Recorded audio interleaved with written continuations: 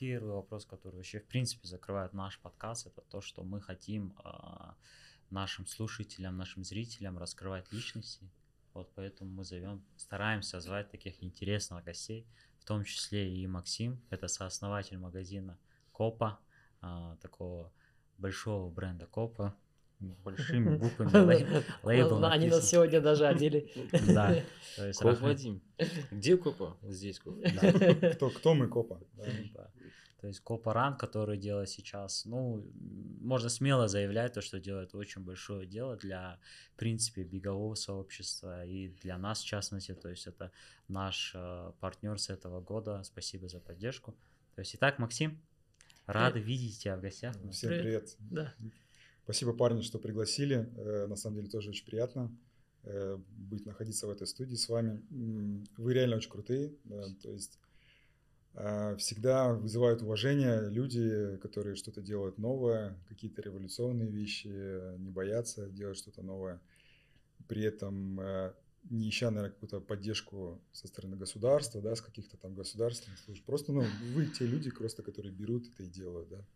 Вот. Есть такой один известный американский бренд, у которого есть такой слоган, да? Just do it. Just do it. Да, поэтому... это мой любимый бренд. Вот, поэтому, мне кажется, вы воплощение э, вот этого слогана, вы сделали крутую штуку, э, крутой продукт, крутой подкаст, который рассказывает нашим бегунам, любителям, профессионалам э, о людях, которые участвуют в развитии бегового сообщества и бега, и легкой атлетики как вида спорта в Казахстане.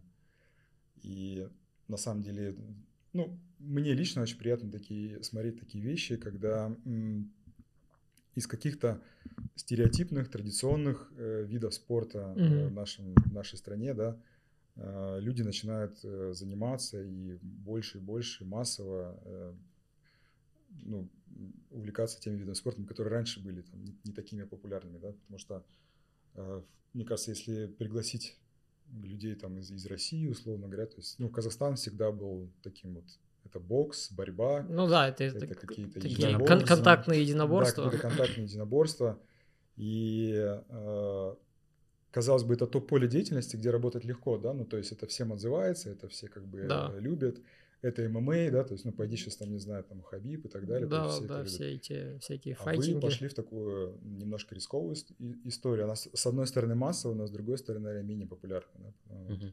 Ну, Поэтому... она массово, ну, во-первых, наверное, сезонно просто. Сезонно, да, да, да. И э, очень много эта массовость проявляется и у людей сезонно, то есть они позанимались, и потом такие, ну, все, я. Ну, как раз таки можно сейчас всех поздравить, да, потому что мы пишем 1 марта. Всех с весной наконец-то кончился. Да, да, и время на час перевели, да. Да. Я вот ночью как раз на работе сидел, переводил время, это самое. Да, насчет этого, кстати, очень много хейта, но я сейчас так подумал, наоборот, это хорошо, потому что многие люди тренируются там, допустим, в 6 утра, в 7 утра, а в 6 уже пришел на тренировки и уже светло почти что. что так что, выходишь, да, уже с Так что бегунам, бегунам Классно, хорошо. Бегунам хорошо, да. Остальным не, не знаю, как, на бегунам, я а думаю, что точно. это будет потом?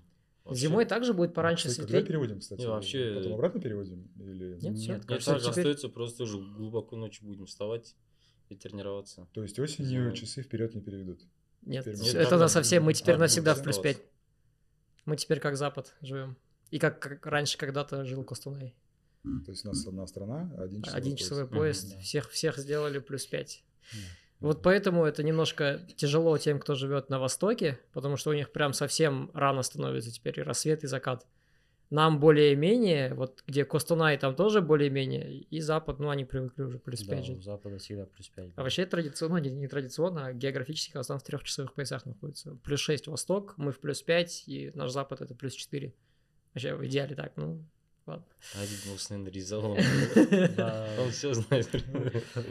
Но это вопросы уже больше к нашему государству и прочему, на которые мы ответов никогда не, не найдем и не ну, услышим. Ну ладно, бог с ним, с государством. А, сейчас э, речь о Максиме. Максим, э, расскажи про себя пару слов, э, что нужно знать нам, нашим зрителям.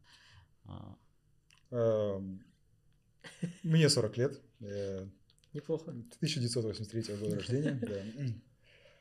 А, Родился в прекрасном городе на юге Казахстана. Я думаю, мы ровесники, прикинь. Спасибо за комплимент, да. Мне сегодня два комплимента сделали, когда сказал, что М-ку. Я такой, блин, классно. У меня была М-ка, да, там, когда я 81 весил, активно бегал. Вот, мой родной город это Шимкент. э. Я очень люблю его. э, Горжусь там тем, что родился в этом городе. Там у меня живут родители, моя сестра, племянник. то В есть самом все городе, да? Да, да, да, в Ага. самом городе.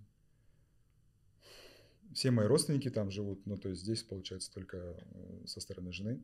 М, Вот. э, С детства любил спорт, в принципе, ну, э, всегда увлекался футболом, играл во дворе, за школу, и футбол это такой вид спорта, который ну, прошел сквозь красные линии сквозь, Мгм. сквозь мое детство. всё. Вот. э, В 2011 году я получил травму колена. Я просто ну, рассказываю, как пришел в бег. Да? То есть в 2011 году получил травму колена. И с игровыми с видами спорта ну, пришлось уже завязать. Завязать. Потому что ну, просто физически это невозможно было делать. Э, У меня был разрыв э, связки надколенника. Ага, да. Надколенник, короче, это, как я узнал, когда получил связку, это чашечка. Да, да, да. Да, у меня вылетела чашечка. Как э, есть такой мем, да? Ничто не бодрит так с утра, как э, чашка, колено чашка, как вылетевшая Да. из сустава. из сустава. Вот. А, И после этого, ну, говорю, игровые, с игровыми видами спорта пришлось завязать, но оставались только какие-то циклические истории, типа плавания, либо бег, Мгм, потому что там линейные движения, ну, и это у меня получалось делать без боли. м, Баскетбол, футбол, к сожалению, ушел в сторону, хотя я говорю, с детства любил футбол всегда, и сейчас люблю его, и работаю в футболе. Я шел э, в ту компанию, в которой проработал 5 лет, да, предыдущая, перед тем, как мы открыли наш, э, нашу компанию, наш бизнес Копа KZ, и с целью работать со спортсменами. Мне очень нравилось взаимодействие со спортсменами, работать со спортсменами. Мой папа играл э, 18 лет в футбол, был Ух ты. футболистом. Но в советское время, наверное, не было такого понятия, как профессиональный футболист, да, то есть он днем шел на работу, на завод, М. там собирал станки металлорежущие, а вечером играл в команде «Металлург». Вот Ух ты. такая команда есть, была. Есть стадион «Металлург» в Шимкенте, который, кстати, реконструировали в 23 году. Это прям крутая история, можете съездить, посмотреть. Есть, И если вы наблюдаете за беговыми блогерами, была такая девушка Акмарал Ран. Ну, она и сейчас. Да, Да, есть, да, да, есть. да.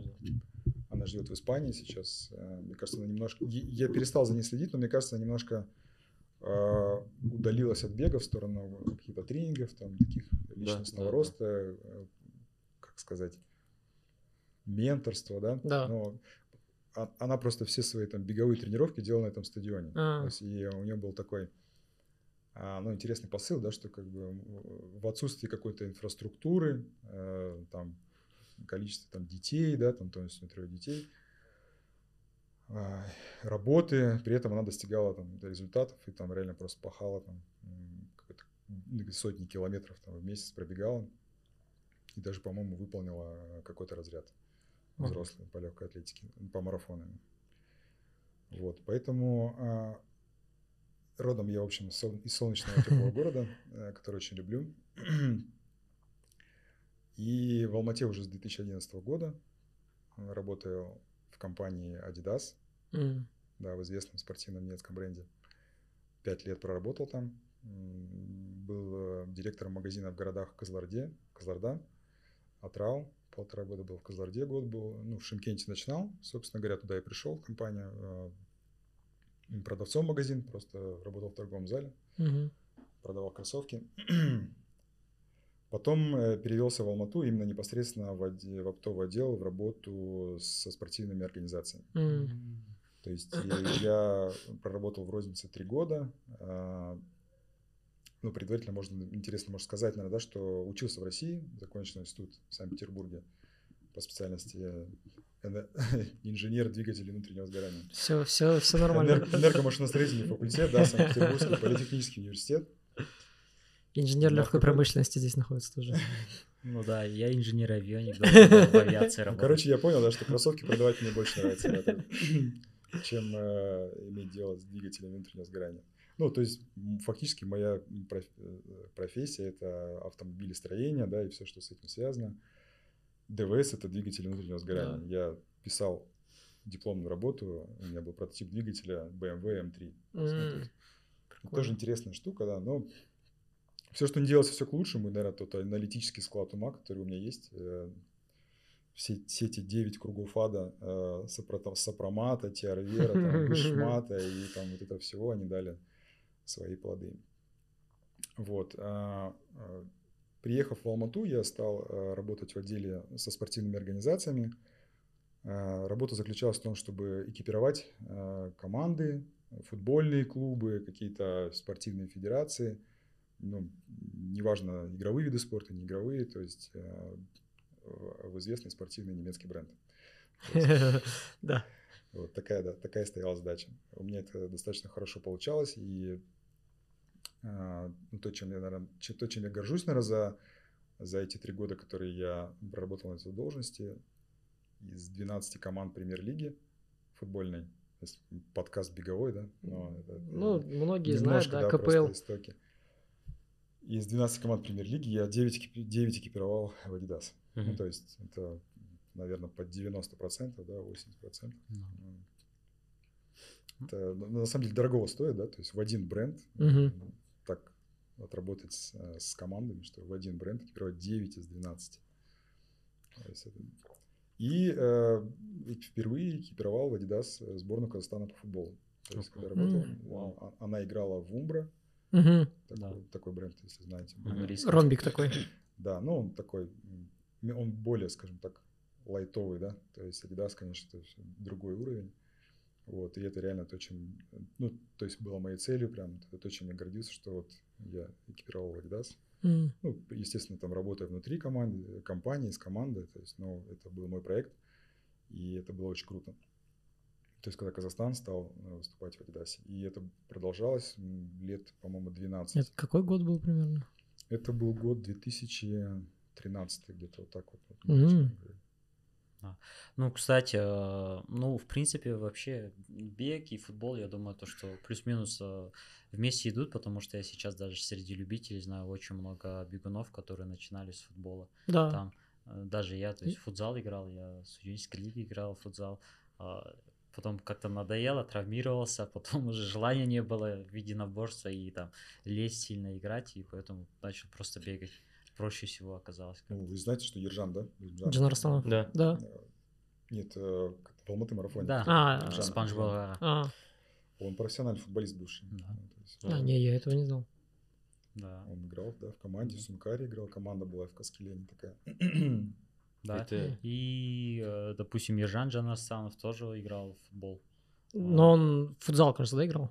Или большой? Я не, я не помню, во что играл, да. Но он точно когда- играл. Когда он в Жусане был, они там вот за команду тоже играли. Да, там, выступали. лиге. Но я просто замечал, как они просто проигрывали, там счета были 9-0, 12-1, вот такие счета были. Ну, Ну да, так что очень много людей, Я знаю. Педро точно в футзал играет довольно часто. Ну, Педро, Педро сам, он, выступает. Если, я не ошибаюсь, Педро из Барселоны. То есть поэтому Ну, там да. не играть в футбол невозможно. Это в ДНК в крови. ДНК, да. Ну, вообще мне как бы вот эта тема там, мне кажется, просто среди бегунов, может быть, и бытует такое мнение, да, что они как бы не, не любят там футболистов, да, или что-то такое там, да, но просто опять же, да, может быть, как бы вы какие-то делаете там рисковые вещи, там, ломаете стереотипы, то есть мне тоже хочется, да, что, сказать, что очень много действительно бегунов там и из профессионального футбола, там, из любительского э, футбола и бегают марафоны, это круто, и на самом деле ну, я за то, чтобы все как бы наоборот объединялись, да, то есть не разъединялись. Это как вот, ну, есть лыжники и сноубордисты, да, там постоянная война, да. там, Вечная Ну война. просто. Типа, да, типа кто круче, поэтому тут э, бегуны, футболисты, мне кажется, пусть это останется как бы поводом для шуток, да, но в жизни пусть это, наоборот будет все вместе происходить. Мы, в принципе, и э, наш забег Копаран делаем на, ну, можно сказать, на футбольном стадионе, да, тоже в том числе и а, где, да, там есть беговые дорожки, но, конечно же, туда много ходит футболистов смотреть а, Да. футбол на Кайрат. Кайрат, кстати, тоже это наш, а, наш партнер. Мы экипируем футбольный клуб Кайрат, наша компания. Ну, Я- То есть другой, другое направление. Я в инсте недавно листал, И там у меня какой-то казахстанской команды футбольной вышла эта, ну, фотка, желтая экипировка, и здесь так, копа, КЗ, я такой, о, Да, Это да, да, да. Это, это мы, да. Да, и сейчас медиалига по футболу есть тоже. То есть, кажется, вы тоже активно там. Ну, в фут- в футболе, да. Ну, как, э, я не, не хвастаюсь, да, но, но то есть реально то, чем мы гордимся в футболе, нам мы дошли до того уровня, что вот, ну, в Казахстане слово копа ассоциируется с футболом. Да, да, это с классно. любительским и с профессиональным футболом. А если вы хотите экипировать команду, то есть то первое, наверное, что на ум придет, это, это копа. Копа. Да. Раз уж мы так а, рассказываем про Копа, давайте про историю. То есть, как вообще создавался сам Копа. бренд Копа, как пришли к магазину, то, что это магазин, этот бренд с историей в 11 лет, если я не ошибаюсь. А, сперва, да, мы поняли, то, что вы начали с футбола, потом добавили бег, но как создавался этот бренд? а, Я очень ждал многим- этого момента. Да, Не. Да, с Адидаса У меня очень- Да, да, да, с У меня вопрос один такой еще ко всему этому. Как появилось название копа? Что это значит? Ну, давайте начнем с того, что, да, как, э, как мы ушли, э, вышли с как- Да, да, да. э, как рыбы вышли там, да, из воды, Эволюционирует. да, да, эволюционирует, да, человек.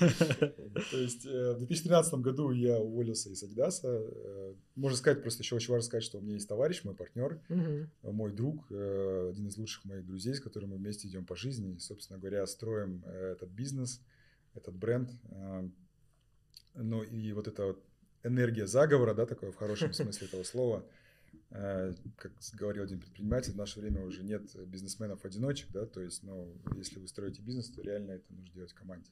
Да.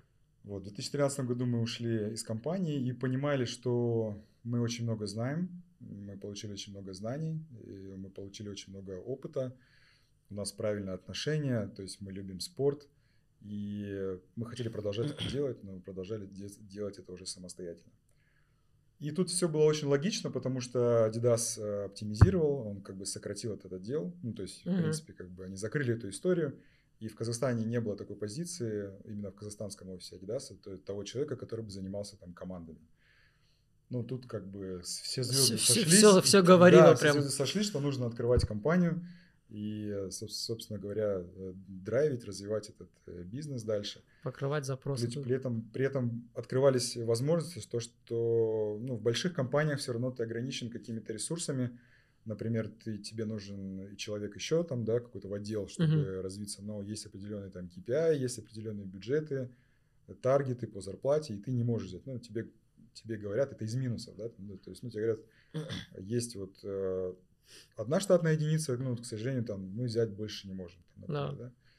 И очень сложно работать. Когда ты работаешь на себя, то есть ты понимаешь, что ты можешь взять еще там сотрудника, еще что-то там, ты можешь поехать туда, туда, и ты не ограничен. Поэтому, собственно говоря, так мы начали строить бизнес. На самом деле все очень последовательно, все очень эволюционно, не было каких-то революционных скачков. Все, что мы делаем, делаем на свои деньги, все, что мы зарабатываем, инвестируем в наше Обратно дело. И это еще раз говорит о том, что ну, наш проект, он серьезный с точки зрения, что не появился какой-то инвестор, либо мы открыли компанию под какой-то там тендер, да, как у нас это бывает, что-то такое, да, его отработали и ушли с этого рынка, вообще-то с этого поля. Нет, все двигалось очень последовательно. Мы, ну, нас, наш первый кабинет был даже меньше, чем эта студия. То есть вот если, наверное, вот от двери, наверное, метр, да, вот так отрезать, Мгм. то мы начинали вдвоем. Мы были, так два стола стояли и, и в коробках, и полностью загружены были в коробках. То есть, Вау. А фото не сохранилось блин, этого? фото, да, не сохранилось. Но это, это, это на Толеби, Панф- на Толеби Панфилова, получается, там тоже Мгм. административное здание, там, там просто был кабинет. И в 2013 году вот мы начали, говорю, там два стола, э, сами белили стены, сами Прям красили, сами фильма. делали ремонт. Не, знаете, это как Продавец история, обуви. а, Да-да-да. да, продавец обуви, и плюс а, у Безоса есть фотка с Амазона. С его столом? Да, как он сидит там с его столом, там надпись Амазон, книжки стоят.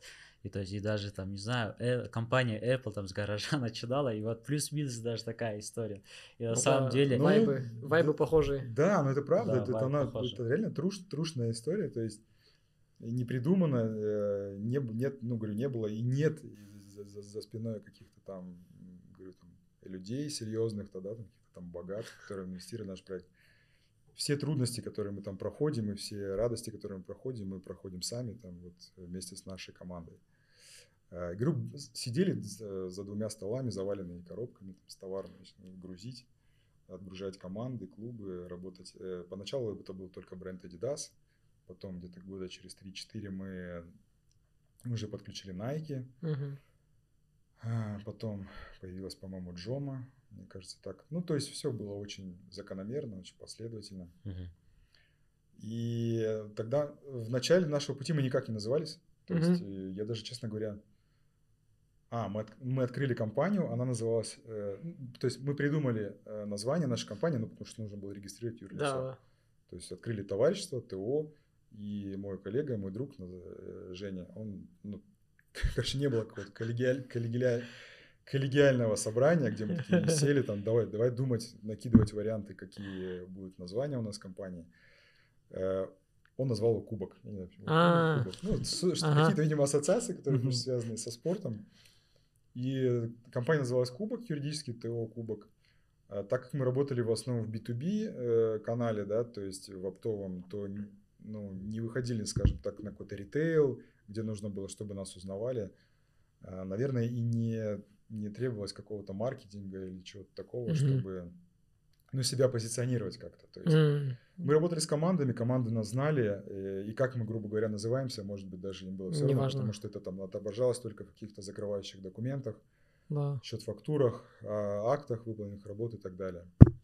Вот. Но когда мы начали расти, то есть мы понимаем, что хотим идти дальше, идти с- работать с футболистами в плане там не только команд, но и продавать ну, шиповки, бутсы, да, какие-то Мгм. вещи, ну, то есть начался такой постепенный ритейл появляться, то вот тут начали генерить, как назваться, да, и э, у нас был вариант арена назваться, э, что, ну, тоже ассоциировалось там со Да. спортом, арена, как-то какие-то такие были мысли. Но это было так банально, как мне кажется, так вот, что-то арена, арена, ну, первое, что приходит в голову, да. Поэтому пошли дальше, и так как мы работали э, в одном известном спортивном немецком бренде, немецком да, бренде, да. где нас очень хорошо учили э, истории этого бренда, мы И знаем. это не Puma, да? Да, нет, это на начинается на S, заканчивается, и это не Asics, да? что- Вот. э, В общем, э, в этом бренде, ну, короче, в Адидасе, в футболе есть очень такая крутая модель футбольных бутс. Да. Э, Называется Копа Мундиаль. Если А, кто играет в футбол. Это да. легендарные такие модели. Легендарная модель, да. Если, э, может, такой, давайте небольшой интерактив. Может быть, знаете, чем они легендарные? Я не могу сказать, но я знаю то, что очень много таких топовых Там, футболистов наверное, любили технологию, наверное, внедрили какую-нибудь, типа там что-то сделали, что они стали Мне кажется, каким-то с действием таким хайповым, возможно. Или, или Пеле в них гонял. Или типа. Зиданский. Вот, короче, на самом деле это может быть пока, покажется странным, да, но, но в наш век технологий, там, чатов GPT, всяких искусственных интеллектов, но как раз-таки нет. Как раз-таки она легендарна тем, что это абсолютно базовые бутсы, Мгм. которые произвели в 79 году. Мгм. В 79 году впервые вышла модель этих бутс Мгм. футбольных, э, Копа Мундиаль. И, внимание, здесь теперь, с 79 года они не меняются. Не менялись. А, Никогда, ничего. До сих пор. Ни один шов, ни один шип, ничего не меняется. Вот как она была разработана, эта модель, в ней ничего не поменялось. И это является ежегодно хитом всех продаж. То есть бестом всех продаж в Adidas. Вау. 45 лет. То есть, да, до 45 лет. То есть э, это показатель э, качества, да, то есть какой-то стабильности.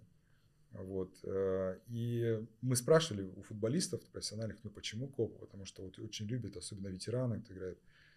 И ответ такой простой, очень удобный. Вот, как Мгм. домашние тапочки, да, то есть они из кожи кенгуру делаются. И это как раз-таки, наверное, не погоня за технологиями, да, которые вот постоянно что-то придумать новое, новое, новое, чтобы... И когда ты придумываешь что-то новое, то обесценивается очень быстро то, что ты делал, ну, как бы предыдущее. Все верно. А это как раз-таки heritage, да, вот это наследие, история, которая как классика, как классическая музыка, она была, есть и будет всегда. То есть э, чем старше становится, Тем ценность тем возрастает. ценность вырастает этого продукта, да. Да. И мы решили назваться сначала Копа Мундиаль в чистом виде да. этого, да. Копа Мундиаль, Копа. Длинно И было. Копа, кстати, э, так совпало, что, ну, изначально не думали, оно немножко, наверное, можно провести параллель со словом кубок, потому что... Да, Копа да, я вот, когда сказали кубок, Да, да, я да. подумал о том, что это как-то трансформировалось в копа. Оказалось, нет. Да, да, ку- кубок придумали еще не думая о копе, короче, да, что название юридическое там. вот, э, но копа оказалось действительно, что это такой кубок чемпионов, типа, да, вот э, соревнования, когда кубок. Вот, поэтому я принес, на самом деле, с собой эту обувь. И что- Круто. Это вообще круто. Да. что И, ну, я, если не ошибаюсь, даже Тони Кросс, кажется, в них гоняет. Возможно, они, да. ошибаюсь. А, Они реально такие алдовые, то есть Red Да, э, да, прям, такой? прям видно, что это... с такое- 79 года парни, и ничего не меняется. То есть, Не, блин, реально крутые. Ну-ка. Ну, это вот, да, прям вот та самая, знаешь, классическая модель. Не, не убавить, не добавить. Да. А какую классическая модель вам а, приходит в голову из бегового? какого-то? кстати, да. Ну, ну, у меня, да, у нас, наверное, с Adidas это Супернова, и если такое классика. И с Nike, ну, Pegasus. Ну, у Nike Пегасы однозначно, да. У... Здесь есть еще, очень, еще одна очень крутая фишка, да, на самом деле, которую многие не знают. Вот, можете вот язычок отвернуть. Так. Она подрезается, кажется, нет? Куда? Влево, вправо? Не, просто там, там, А. там везде размеры написано. Да, да. Прочитай, где, где это изготовлено. Made in. А, Made in Germany. Они не отдают никому делать, да, их? Это единственный, единственный артикул, единственный э, продукт, который до сих пор делается в Германии. Круто. Ага. Они специально, да, его не отдают нет, Все на производство? перенесли в Юго-Восточную Азию, там Тайвань, то есть Уникальный Сингапур, Малайзия. короче. И компания Nike, в принципе, которая американская, никогда в жизни не производилась в Америке, да, то есть, ну, тоже. Мгм. И, э, ну, это еще раз говорит о том, что, да, вот как бы они оставили вот, эти, вот эти бутсы, и, и до сих пор производят их в Германии. Блин, это же реально круто. Да, это круто. Это настоящее наследие, то есть и классно то, что такая огромная компания там Заботится о подобных заботится вещах. об этом, да. Помнит, по крайней мере.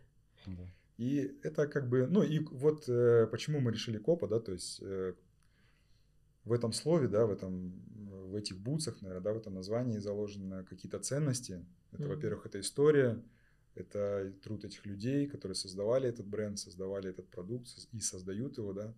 А, Это качество, которое с годами не меняется, и люди выбирают и делают выбор в сторону качества, в пользу качества. Ну, и какое-то постоянство, стабильность, э, комфорт э, этого продукта, оно переносится на, наше, ну, на нашу компанию, то, что мы делаем, то, что, по крайней мере, мы стремимся делать, это давать э, качество, качественный продукт людям, э, давать э, сервис. И у нас уже какая-никакая, но есть история. М, 11 лет все-таки это Да, можно это- уже назвать, да. История. Ну, это глубоко. Ну да, это одна треть, в принципе, независимости Казахстана. То Если так брать, поэтому а да, это достаточно... копию можно докупить и Да, продается же. Ну, кстати, последний, последний размер сейчас, пока поступления не было, но это вот э, то, что у нас У вас тоже их раскупают, да? Это вообще это best. Ну, футболисты, которые люди, которые ценят, ну, знаете, как, это как бегун, да, который вот он за какой-то моделью там, например, гоняется, не знаю, как Vaporfly, вапором, какие да, да. там, да, то есть для футболистов, особенно ветераны, они это очень ценят. И э, если переходить к бегу, наверное, изначально э, была идея сделать в Казахстане, привести в Казахстане, аккумулировать вот какой-то топовый продукт, Мгм. э, топовых компаний э, в сегменте выше среднего. Ну, потому что в магазинах, там, в тех же, например, магазинах Nike или Adidas всегда продается какой-то базовый продукт. Это, если мы говорим по модели, то есть, ну, Nike это Pegasus, а если это если это Адик, то это Supernova, там, да, Да. или Ultraboost, какой-то коммерческий продукт. Если там, ну, условно говоря, это какая-то Hoka, это Bondi, там, или Clifton. А, а что-то выше, да, то есть весь, весь там карбон люди Мгм. обычно приобретали и покупали всегда э, границей, Якоме- на. Якоме, да, то есть Да. в- на сайтах, короче, иностранных каких-то компаний за рубежом. То есть и вот идея была изначально, то есть импульсом, первым стартом открыть, почему пойти в бег. Ну, во-первых, потому что мы сами бегали, у нас много ребят бегают, и я сам люблю бег. А, но так как наш бизнес связан э, со спортивными товарами, спортивной экипировкой, мы, блин, давайте сделаем, как бы, ну, привезем реально альфа-флай. Ну, то есть, вот не было Fly. То есть, во- а еще помните, м, то есть, года три назад, да, как раз вся эта история шуме, шумела, да, то есть, под- это Breaking подводка к- Two. Да. Да, к Кипчоге к, э, к двум часам, да, там, ну, к выходу из двух часов из- по, на марафоне.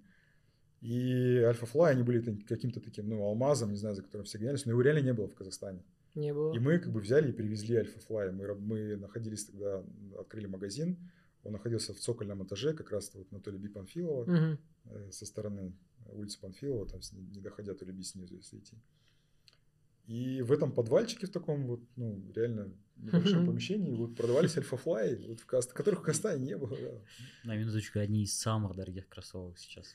Да, да. Ну, то есть не привези под заказ, да, то есть мы не хотели играть вот в эту историю, там, типа, как бы, там, закажи и привези, то есть какой-то глобинг, то есть мы хотели конкретно сделать понятный Мгм. процесс, чтобы человек пришел, Пришел, взял. померил, Пощупал. пощупал, да, вот здесь сейчас, то есть не под заказ, и э, купил этот продукт. Там. Ну, впоследствии там подкрутились какие-то инструменты в виде рассрочки, там, не знаю, эм, Каспиредов и так далее и тому подобное. Вот. Ну и, собственно говоря, мы пошли по этому пути, и э, сейчас там, где мы есть, это вот результат того, что мы делали эти, эти три года. Да, это довольно классная история, потому что я помню то, что я начал бегать в 2019 году. А, ну и куда ты идешь, когда выбираешь обувь? Ну, то есть, да, банальные там а, ритейлы, спортивные магазины. То есть Nike заходишь, Adidas заходишь. Да. Даже в 2019 году там был очень маленький э, вообще ассортимент, в принципе, беговой обуви. Там даже и в одно время я помню точно то, что даже в Nike нельзя было Пегасусы купить. То есть, и там я помню то, что в Under Armour еще пошел, вообще почти что не беговые купил первые свои кроссовки Я, и в них половинку пр- пробежал. я тоже в девятнадцатом году, когда начал искать себе беговую обувь, обошел на Adidas и Nike, не нашел ничего, ну, по размерам подходящего, и купил вот эти Reebok Float Ride Energy. Хорошие кроссовки, но... Хорошие кроссовки, кстати. Да. Но потом они стали что-то дорожать, дорожать, и ну, я не думаю, что они соответствуют сейчас своей цене, потому что они как будто завышают. А вот раньше, вот году 19-20 они прям качество, цена у них была очень крутые. Да, и вообще, в принципе, это такая прикольная компания, Reebok. Но если так поговорить о ней, то есть я фанат UFC был, и то есть я Мгм. вообще кайфовал от них, когда они там, там мой любимый условно боец там выходил, разминается, это еще вся форма абсолютно там брендирована, вообще классно. Ну, да, но жаль, что у них пошли. они в беговом направлении не развиваются Да, сейчас. остановились, к сожалению. Ну, еще вы же знаете, да, что Рибок принадлежал Adidas Да. Да, да. в 2005 году. Сейчас да. Это всегда интересно. Я просто все это учил. Зря что ли, да? Да, да. В 2005 году компания Adidas продала компанию Соломон. Если Мгм. кто не знал, что Соломон тоже раньше. А, это я не знал. Вот, и купила Рибок. Вау. получается, сколько, два года назад они продали Рибок. М. Да, поэтому сейчас они барахлят. Но мне кажется, сейчас, в принципе, ренессанс происходит э, вообще, в принципе, там всех брендов. Допустим, Мизуна как стрельнула своими новыми моделями кроссовок. То есть они сделали какой-то вообще космический дизайн, Там вообще Что, что непонятный это, да? Кроссовок стартовый, без пятки. И, то есть, Кстати, кто-то, ну, вы пробовали его? Я просто нет. Нет, я тоже Насколько еще это не- удобно вообще по... То- У Визуально Толкан пока я видел, понятно. что она в них бегала, но я их тоже ну, еще не щупал. слышал, ну, я только отзывы читал, и эти кроссовки точно не для Нет, любителей. Они вообще разрешены или нет? разрешены, Разрешены. разрешены. Они сделали по-хитрому, то есть дроп всегда считается, ну, World Athletics считает по пятке, М. а они дроп сделали посередине. То есть у них превышает там 50 миллиметров, но... Но такого не в том правила- месте. Да, но не в том месте, поэтому они разрешены на официальных стартах. То есть такую они нашли выход, в принципе. Да и то это не всем заходит, короче. Но они выглядят э, необычно, однозначно. Есть- Космически. вы- есть- есть- мы, вы, может быть, видели, у нас есть э, тоже выше эти самые топовые кроссовки в Пуме, у Пумы. Да, Девейты. Они тоже выглядят очень необычно. У них как каблук такой, знаете. Ну, то есть вот здесь есть перед и есть каблук. Да. И получается, где свод стопы, как бы ну, ничего нет, только вот переходная часть, там пластина это карбоновая, и промежуточной подошвы нет вообще. мгм. Да, кстати, да, они представлены в копии. а У меня как раз глаз на них упал. То есть, Зелёненькие такие. да, зелененькие. Ну, Там еще розовые были такие, типа розовых, фиолетовых. Да, можно, в принципе, зажечь вот на стартах весной, либо осенью, прям сделать свой личник, прям. Для перформанса они отлично ходят на самом деле. Ну, как раз таки, вот мы сейчас говорим про дефицит, да, когда мы искали кроссовки, э, и как не тебе задать вопрос, почему, в принципе, вот э, бренды Nike, Adidas не так сильно в, ну, развивают там беговую экипировку у нас в Казахстане? То есть почему так мало ассортимента у них? Особенно в текущем положении, когда они ушли с российского рынка, и казалось бы, вот, вот он хаб Центральная Азия, вот тебе захватывай рынок. Ну, я, наверное, тут не расскажу каких-то откровений, там, да, здесь я вообще не сторонник там каких-то теорий заговора и так далее, я абсолютно в бизнесе рационально подхожу к вопросам всем. Это исключительно бизнесовая история. Угу.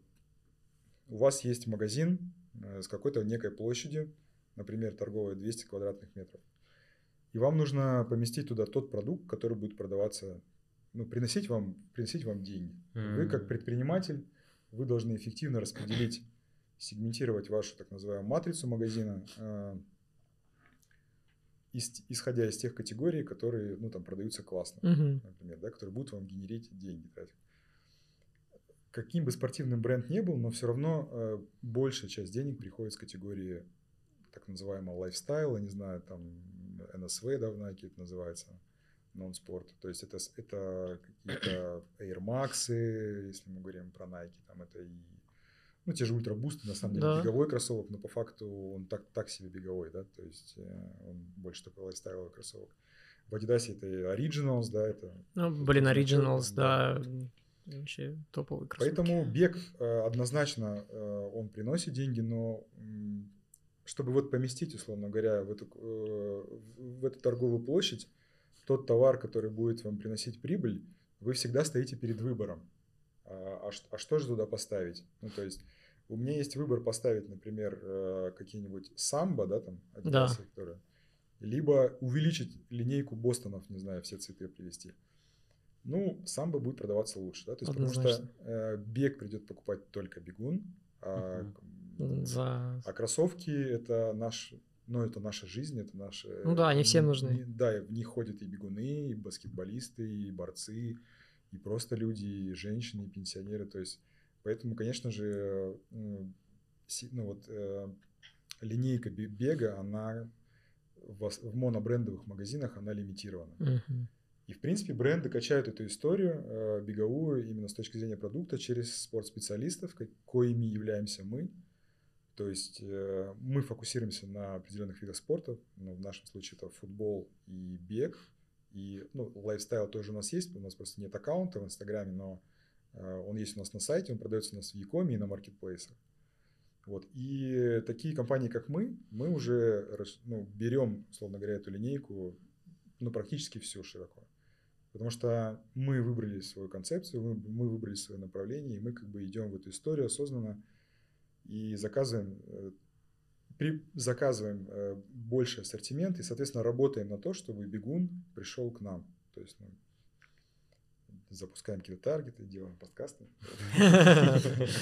Э, Адидасу, конечно же, или там ну, другим каким-то брендам, монобрендам, есть там Under Armour и так далее, они ставят тот продукт, который будет продаваться шире. То есть я говорю, самый продаваемый продукт да, в Adidas это там это хлопковый черный спортивный костюм.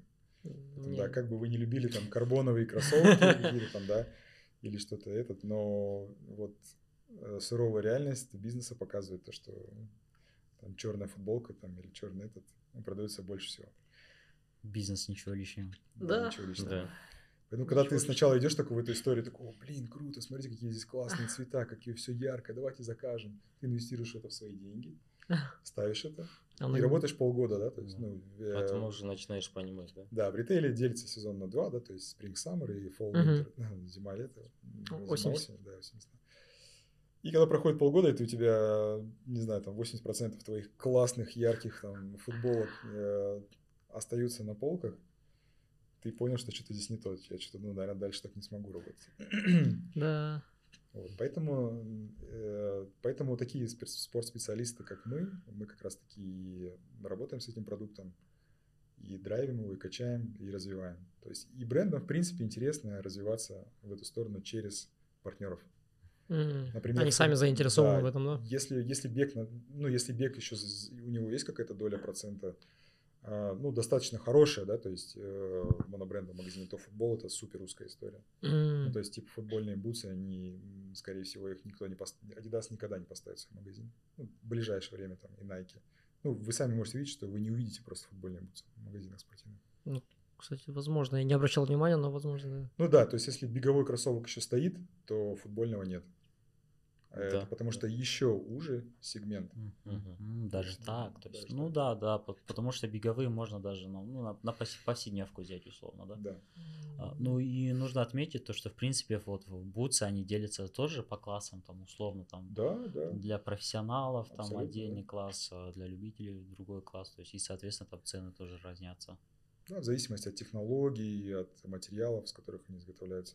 От веса, опять же, да, то есть в спорте, в принципе, есть основные критерии, которые, ну, вне зависимости от спорта, играют важную роль там, результата, для достижения результата. Если мы говорим про кроссовки и про бутсы, про обувь, то это вес, да, наверное. они Это играют. очень решающий очень важно, фактор. да, потому что нужно бегать быстро. А, Ну и если там бежишь трейл, тебе нужна подметка агрессивная, какой-то там трекинг, да, Да. э, шипы, какие-то грипп.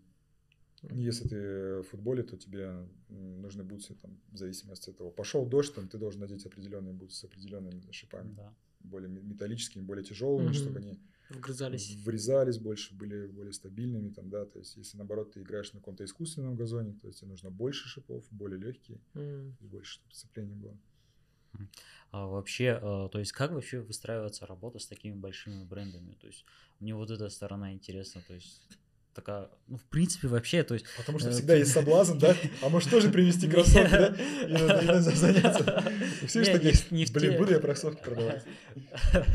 Э, Ну, мой вопрос, а, то есть о другом. В принципе, я вообще э, кроссовочный гик, я просто уношусь по кроссовкам, то есть у Блин, меня я- я я- все как бы- Это, это моя болезнь на самом деле, то есть у меня огромное количество кроссовок она дома. И она просто стоит, хранится, то есть я некоторые пары просто несколько раз даже одевал, и все, то есть поставил, она Фетиш такой, да? стоит, и все, я доволен на самом деле, и мне Ну, хорошо. Но, то есть мы сейчас в Алмате, и на самом деле на глобальной карте, то есть это маленькая страна, ну нет, я имею в виду не территориально, а просто по влиянию на весь мир, то есть не Ну, такая по, ры- по большая. ры- по рынку, да. и да, по рынку, то есть, да. Э, То есть, э, как выстраивается работа? Ваши, не знаю, там менеджера есть, которые вызывают, там, не знаю, какие-то поездки, может быть, чтобы увидеть э, новые модели кроссовков, презентации какие-то. Как выстраивается работа? Вот мне интересно, то есть. Или Э. можно просто позвонить, алло, это Adidas, я- у меня магазин, сделать. все, давайте, хочу- тысячу хочу пар мне кроссовки, везите». да. условно. Так сделать нельзя. Э, К сожалению, наверное, других людей, к счастью, к нашему, да, потому что- Ну, потому что, да, изначально иначе бы каждый, кто хотел бы, мог там позвонить в бренд, получить какие-то коммерческие условия и, ну, и начать продавать, заниматься бизнесом. И на самом деле эта история, это то, что сейчас происходит в России, да. То есть, когда нет никаких правил игры. То есть бренды ушли из этого рынка, с этой страны, а бренд является не только поставщиком, но еще и контролирующим органом, да, Мгм. который обозначает правила игры. Государство тоже говорит, ребята, погнали вперед, зеленый свет, везите, что хотите, параллельте. Да? То есть мы с вас не будем спрашивать. Adidas, Nike, там, Puma. Вот. э, И это на самом деле ну, плохо для бизнеса. С одной стороны, ты можешь привести что угодно, там, по каким угодно ценам, с другой стороны, нет никаких правил игры. Кто-то может депинговать, э, Да, может там это- дольше, э, дороже ставить. Вот. э, Как у нас это развивается, да, мы э, ездим на предзаказы два раза в год, ежегодно.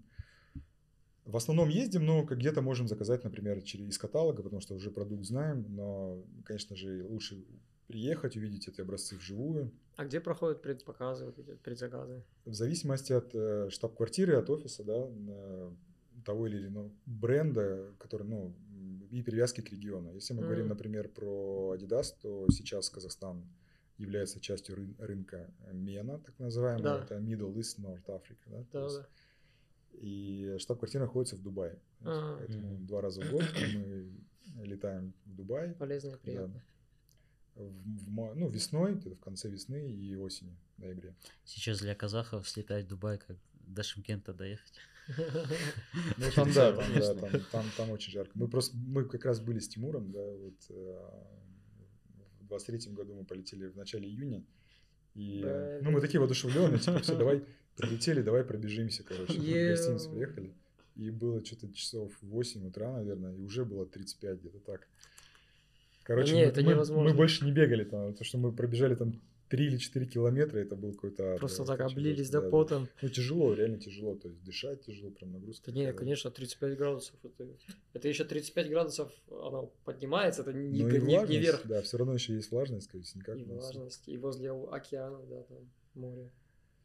Поэтому да, вот э, отношения выстраиваются так, что мы приезжаем в бренд напрямую, выбираем э, товар, который мы хотим разместить на следующий год. И, э, собственно говоря, ну, размещаем заказ, платим там, определенный депозит и Мгм. ждем, когда товар произведется. Вот, поэтому э, залети, ну, зайти туда, да, как бы залететь, наверное, не, ну, то, не, наверное, точно не получится туда просто так, как бы, чтобы давайте, Мгм. как бы я тоже буду, потому что это определенные, нужно соблюсти условия, иметь определенную историю э, взаимоотношений, то есть, ну, всегда бренд смотрит, кто ты, да, то Мгм. есть, как ты позиционируешься на рынке, какой маркетинг ты делаешь, там, если у тебя сайт, не Мгм. знаю, если у тебя магазин, вот, э, и, конечно же, им важно работать там с надежными партнерами, которые впоследствии выкупят свой предзаказ. А, Смысл в том, что нет какого-то некого большого остатка товар- товаров, которые ты можешь взять в любое время и, Мгм. и выкупить. То есть ты заказываешь наперед. Вот мы разместили заказ, через 7 месяцев он приходит, М, и мы его гарантированно выкупаем. И таким образом бизнес становится для бренда таким ну, не рискованным. Ну, да. Они Вот как это обезопасивают строится, всё. да. То есть мне вот это очень важно было. Ну, мне просто интересно было услышать, потому что, ну, я люблю такую операционную работу, в- Ну да, копошиться это там. реально операционная работа. да, изучать. такая. Да. А тогда окей, если выкупается все заранее, а, с эксклюзивными моделями такая же история. Вот, допустим, Adidas выпустила, кажется, если не ошибаюсь, 500 пар. а, Модель, Prime- Prime X? да, про MX, то есть, нет, вот эти белые, которые 500 долларов стоили, А, Ези, Э, Ези, который... да. Ези- я не помню, как эта модель скажу. называется. Беговая модель? Да, беговая модель, она недавно Она, вышла. африканка бег бежала в них, да? Да, к сожалению, Щас модель скажу. Ну, или Adidas прошки, или что-то. Там что-то, что-то 2 было, или X было, не Нет, там помню. Adidas Pro же было это. Не-не-не, там это вот такая какая-то модель была, я забыл, кто бежал. А, африканка девушка бежала, там она что-то супер классно пробежала, и там вот, да, было описание, что вот какая-то эксклюзивная модель, э, там 500 пар. Ануар ищет, кажется, да? Сейчас, да, я ищу, потому что а, я сейчас хвалюсь, то, что я кроссовочный гик и не знаю э, на- название. Watergeek. Выйди и зайди нормально. Да, а, вот, Adios Pro Evo 1. Во-во-во, А. Эво. Evo, да. Ну да, э- это так, так называемые аллокации, да, как, Мгм. э, как, она- как мы это называем, как бренды это называют. Э, Вообще с ними интересная история на самом деле, потому что, например, тот же Nike ограничивает и выделяет на, на определенный рынок только определенное количество. То есть Сколько? ты не можешь взять и заказать 500 Alpha Fly Прикольно. или 150 Alpha Fly в Казахстан. Мгм. Ну, потому что продукт, он э, сегментированный, он очень уникальный, и это своего рода такой инструмент, чтобы вокруг него создать такую Да, атмосферу. Ну, то есть, ажиотаж. ажиотаж, Искус- искусственный да, ажиотаж да, небольшой. Да, да, то есть, ну, если это будет что-то массовое, то это уже не будет такое интересно, да, то есть... Все будут знать, что можно в любой да, момент типа, типа, закажите по предзаказу, там, да, например, вот такой. И на Казахстан даются прям реально очень небольшие количества. О. Ну, прям десятки пар там и всего, 30-20 пар. Так что если у вас есть такая обувь, то вы уникальный человек. Но она реально разлетается, то есть прям быстро среди бегунов. А, Это имиджевый продукт, он не массовый, то есть, ну, потому что, ну, это знаете, как э, можно это провести параллель, как какое количество, какие люди и какое количество людей бежит марафон. То есть Мгм. сколько из, из э, 12 тысяч, например, забега элита бежит? Ну, человек 20, я не знаю, там 30, да, у нас. Да. Ну, то есть вот это вот аллокация, да, типа, вот это вот эти, вот эта элита, типа, это, грубо говоря, вот эти там... Кому они, в принципе, и нужны. Да, да, да. А остальное там 10 тысяч это Пегасусы, это там Бостоны, Суперновые. Да.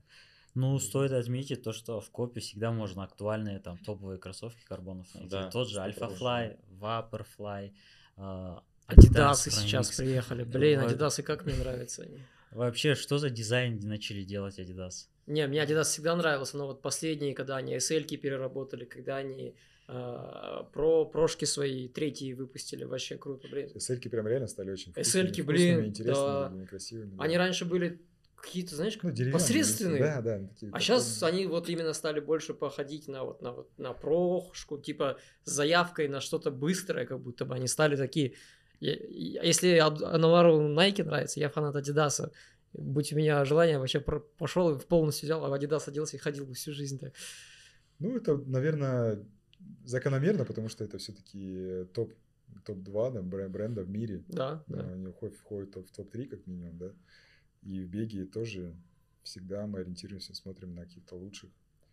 И результаты тех бегунов, которые сейчас показывают. Вот в Японии, не, не знаю, В Японии, да. видели, там Последний чувак забег. бежал Два... За 2.06, 2.0. по-моему, 2.06. Так, М, у Мисяна- Быстрее, 2.04 2.04 Сколько там, больше секунды. 40, да? В таком да. да, да. Да. Это сильно. Да. Но нужно отметить то, что он весит 48 40 килограмм. 44. 44 очень- он килограмм, очень, да, да, очень выглядел, худой, да, поэтому, что в да. принципе, он может пробежать в этих кроссовочках. Ну, допустим, я э, в том году, 23-м году в таком Сенах бежал половинку, у меня потом стопы болели, если честно. Ну, это должна быть Да, подготовка. поэтому стопы должны быть готовы. Голеностоп, да, укрепленный, бы там сильно хорошо. Да, поэтому, в принципе, любые кроссовки, то есть, ну, по уровню нужно брать. Это такой Это- рекомендация. Да, это не то, что рекомендация, это, наверное, больше обязательное к выполнению, потому что, ну, это может привести к травмам, впло- вплоть до травм.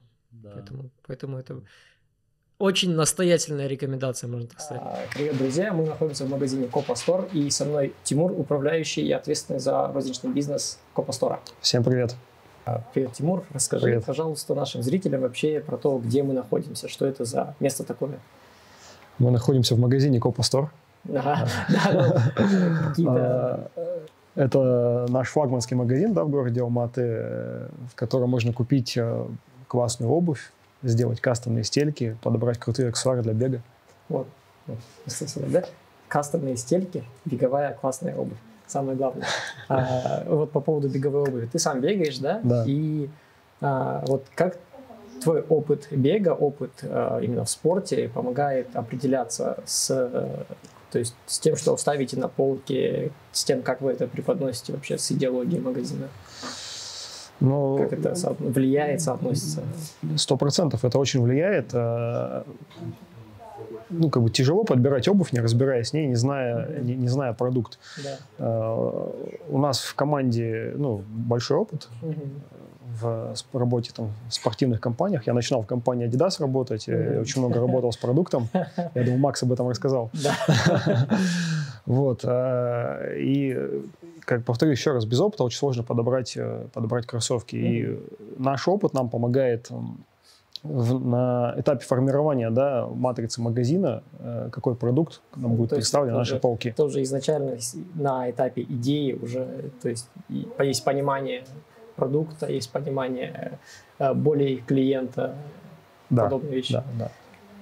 А, сколько раз мы не заходили, мы всегда с ребятами, вот вашими консультантами, всегда говорим про, ну, про кроссовки, там, про Adidas, и что там вот здесь супер Бостоны, у них там, не знаю, карбоновые трубки, там Классная у, пена. У, у Пумы там, не знаю, новая пластина какая-то.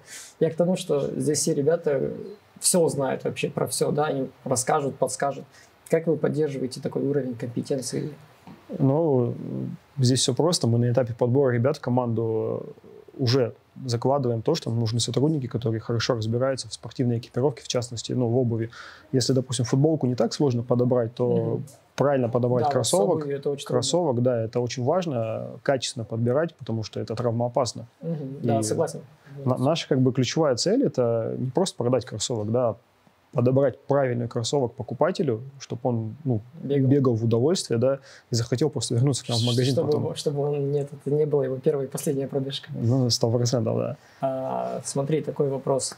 А, чем ваш магазин отличается от других таких? Какой, его- какой уникальный опыт покупатели могут получить конкретно у вас? У нас покупатель может подобрать себе все для бега, Мгм. начиная от, от обуви, да, от Так, кроссовок, Обувь, носки, носки, кроссовки, да? стельки, э, полную экипировку, полный лук собрать, э, все аксессуары и там вплоть до питания. Очень круто. А, еще что-нибудь? Я вот вижу, здесь такая штука красивая есть. Какие-то А, кастомные стельки. Да, станция Седас. Ага. Она делает Она, стельки. да, это уникальные стельки, по, которые подбираются, по, по- изготавливаются прямо под стопу покупателя нашего. Да, то есть они приходят, ну, сейчас подснимем, там, то есть он приходит, человек садится, и у него полностью по ноге, по стопе вылепляется.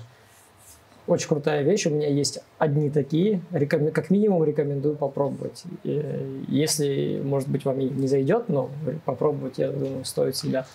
Седас уникальная компания на самом деле. Э, Есть два продукта у них классных. Это Мгм. стельки Трифит, которые уже предподготовленные, то есть они подходят там ну, достаточно мно- многим, многим людям. Универсальные, грубо говоря. Да, они универсальные, они также подбираются по своду стопы, Мгм. стельки. Есть три вида стелек, там с плоским сводом, со средним и высоким сводом Мгм. стопы.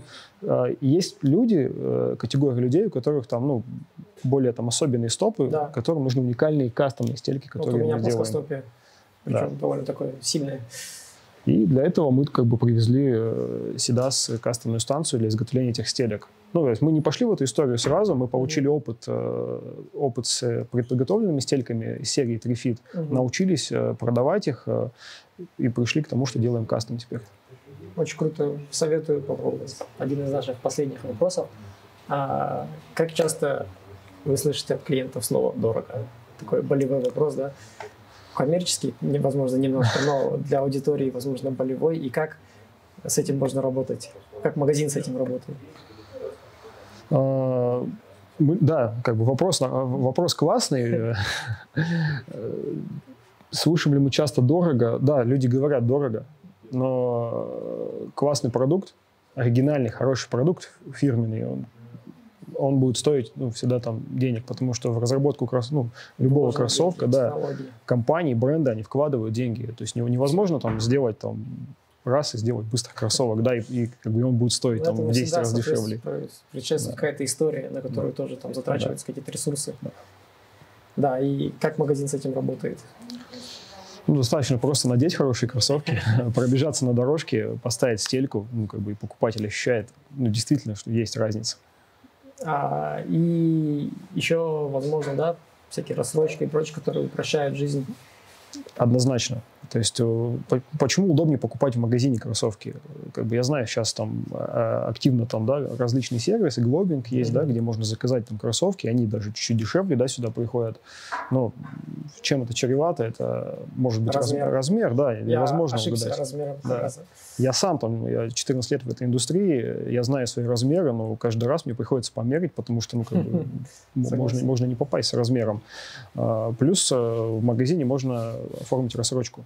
Вот, это очень крутая штука, что... Да. Есть Да, рассрочка на 3 месяца, это стандартная, в принципе, да, там Каспи дает ее. А, Очень часто акции, там, 12 месяцев, можно прийти, собрать лук, там, разделить на 12 месяцев, ну, как бы это абсолютно нормальная история, там, да, раскидать на, там, на дв- на 12 платежей, там, то, что ты хочешь приобрести сейчас. Круто, круто. А, мы в целом вам сейчас покажем еще, что есть в магазине, но вы приходите сюда лично и убедитесь. А, Кстати, можно здесь будет пробежать на беговой дорожке в тех кроссовках, которые, возможно, вы хотите там пробежать свою десятку, 21, марафон, пятерку и прочее, прочее. Прям прийти, затестить, возможно, там стельки подобрать себе. Такое не везде есть, поэтому пользуйтесь, пока это доступно.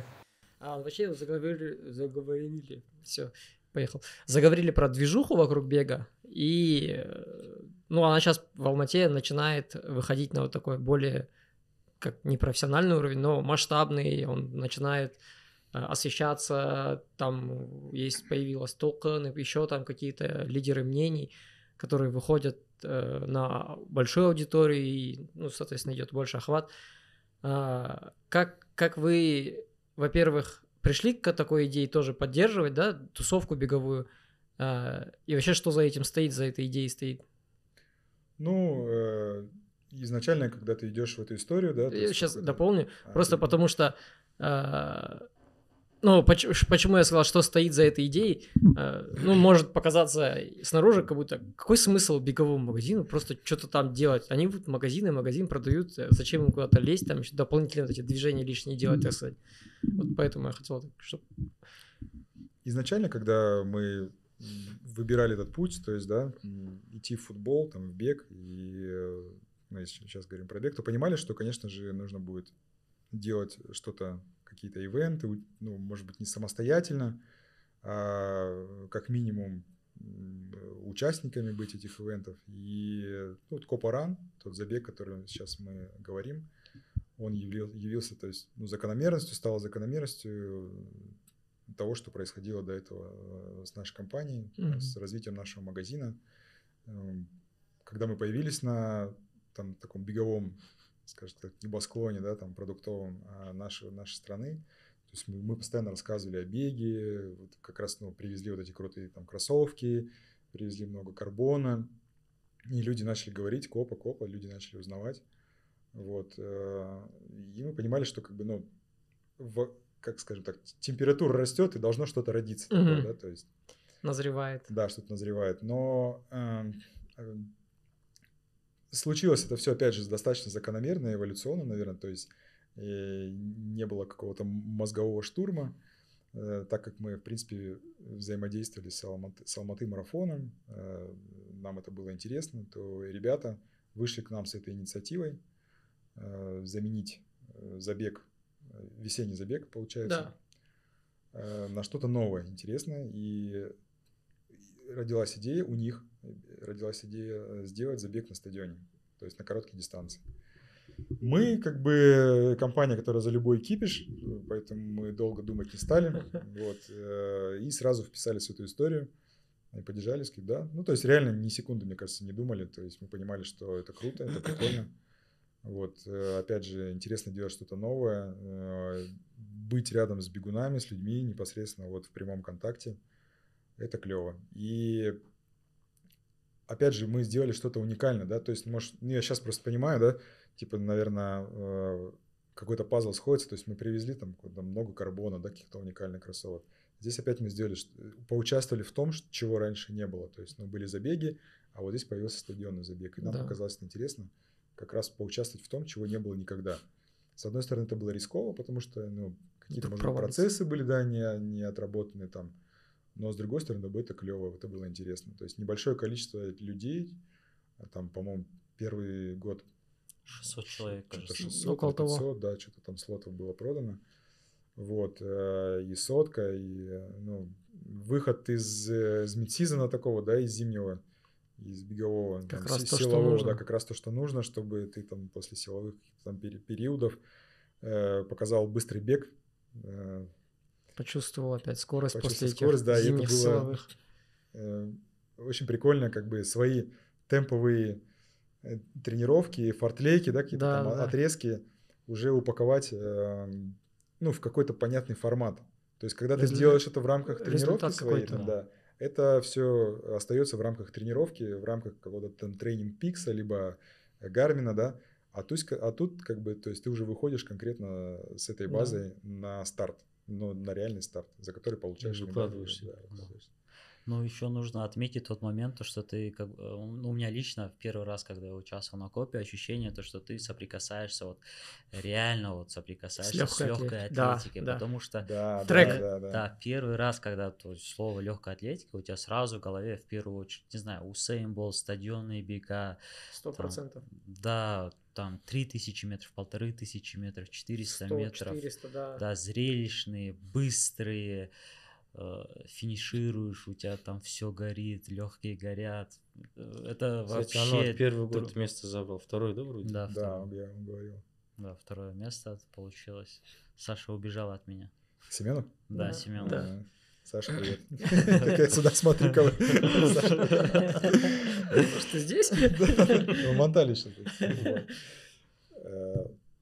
Да, на самом деле плюсов там много можно искать, да, я сейчас просто тоже накидываю, что это же еще та история, когда ты своего соперника, вот, ну вот он с тобой всегда да. рядом. Когда ты бежишь какую-то десятку там или этот, или марафон, твои, ну, могут сменяться. Тут бежит какая-то толпа. Да, пачка одна поменялась, вторая поменялась. Да, вторая поменялась, одного обогнал там, потом ты где-то отстал, тебя обогнали.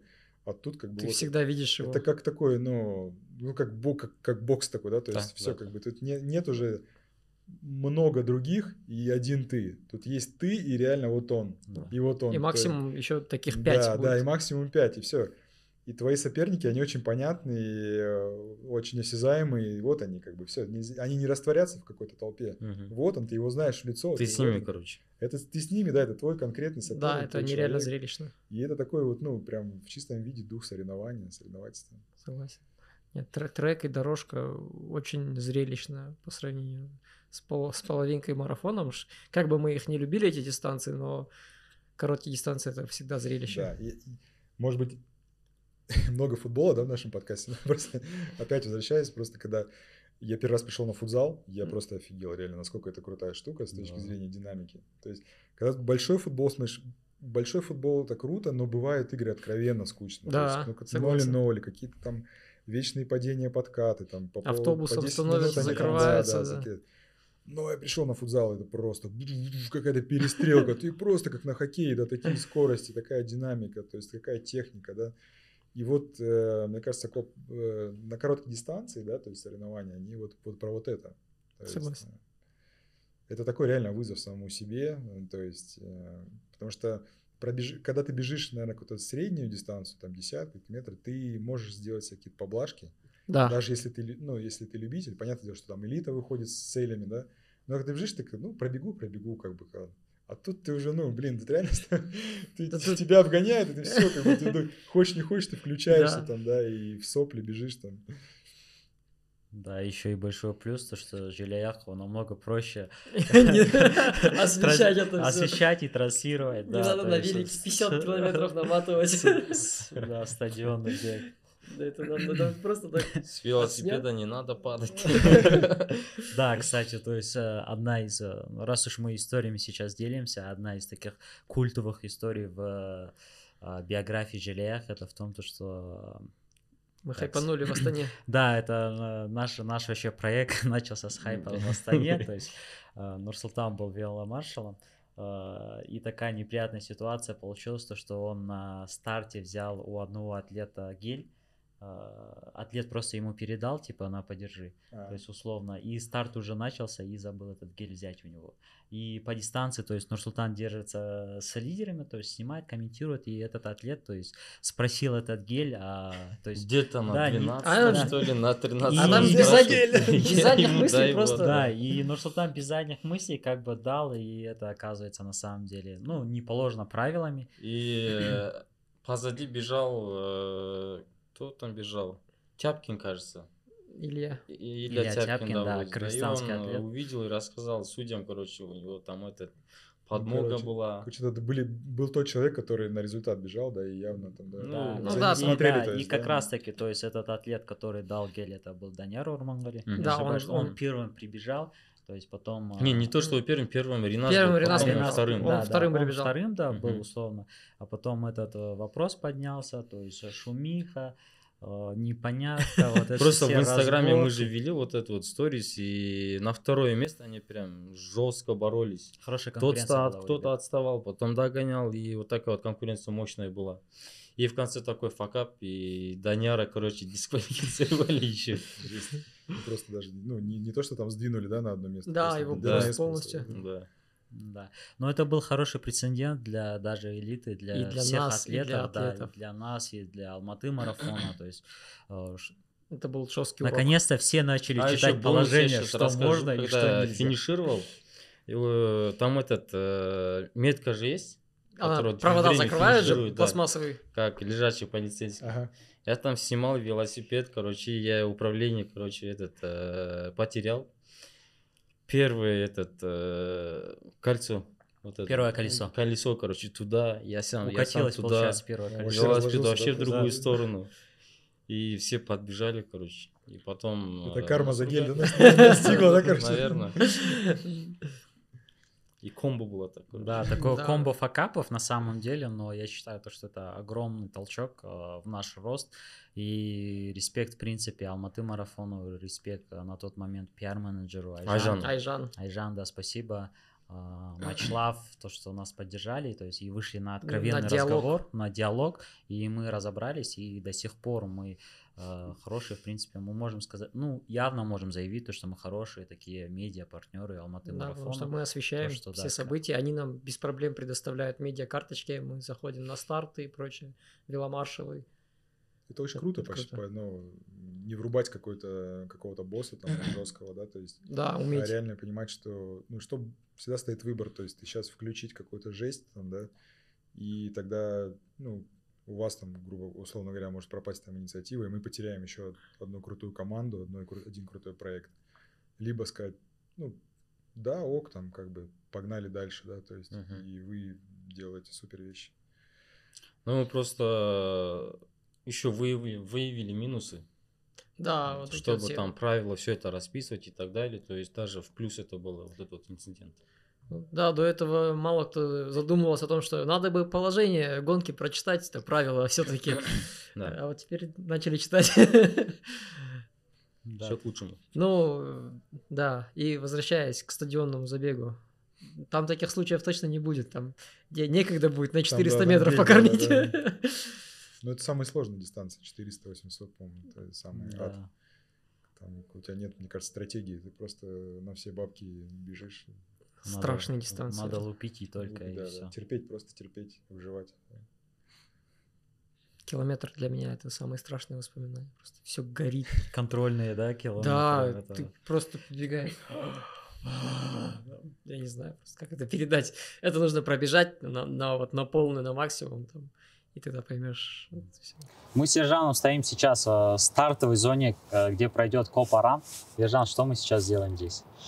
А, Сегодня мы с коллегами были здесь на центральном стадионе, осматривали локацию, посмотрели точки расключения, питания, в каком состоянии находится стадион, что-то пересмотреть а, по сравнению с прошлым годом, посмотреть, какие точки были у нас э, проблемные, где что можно улучшить, ну и в целом посмотреть а, саму локацию.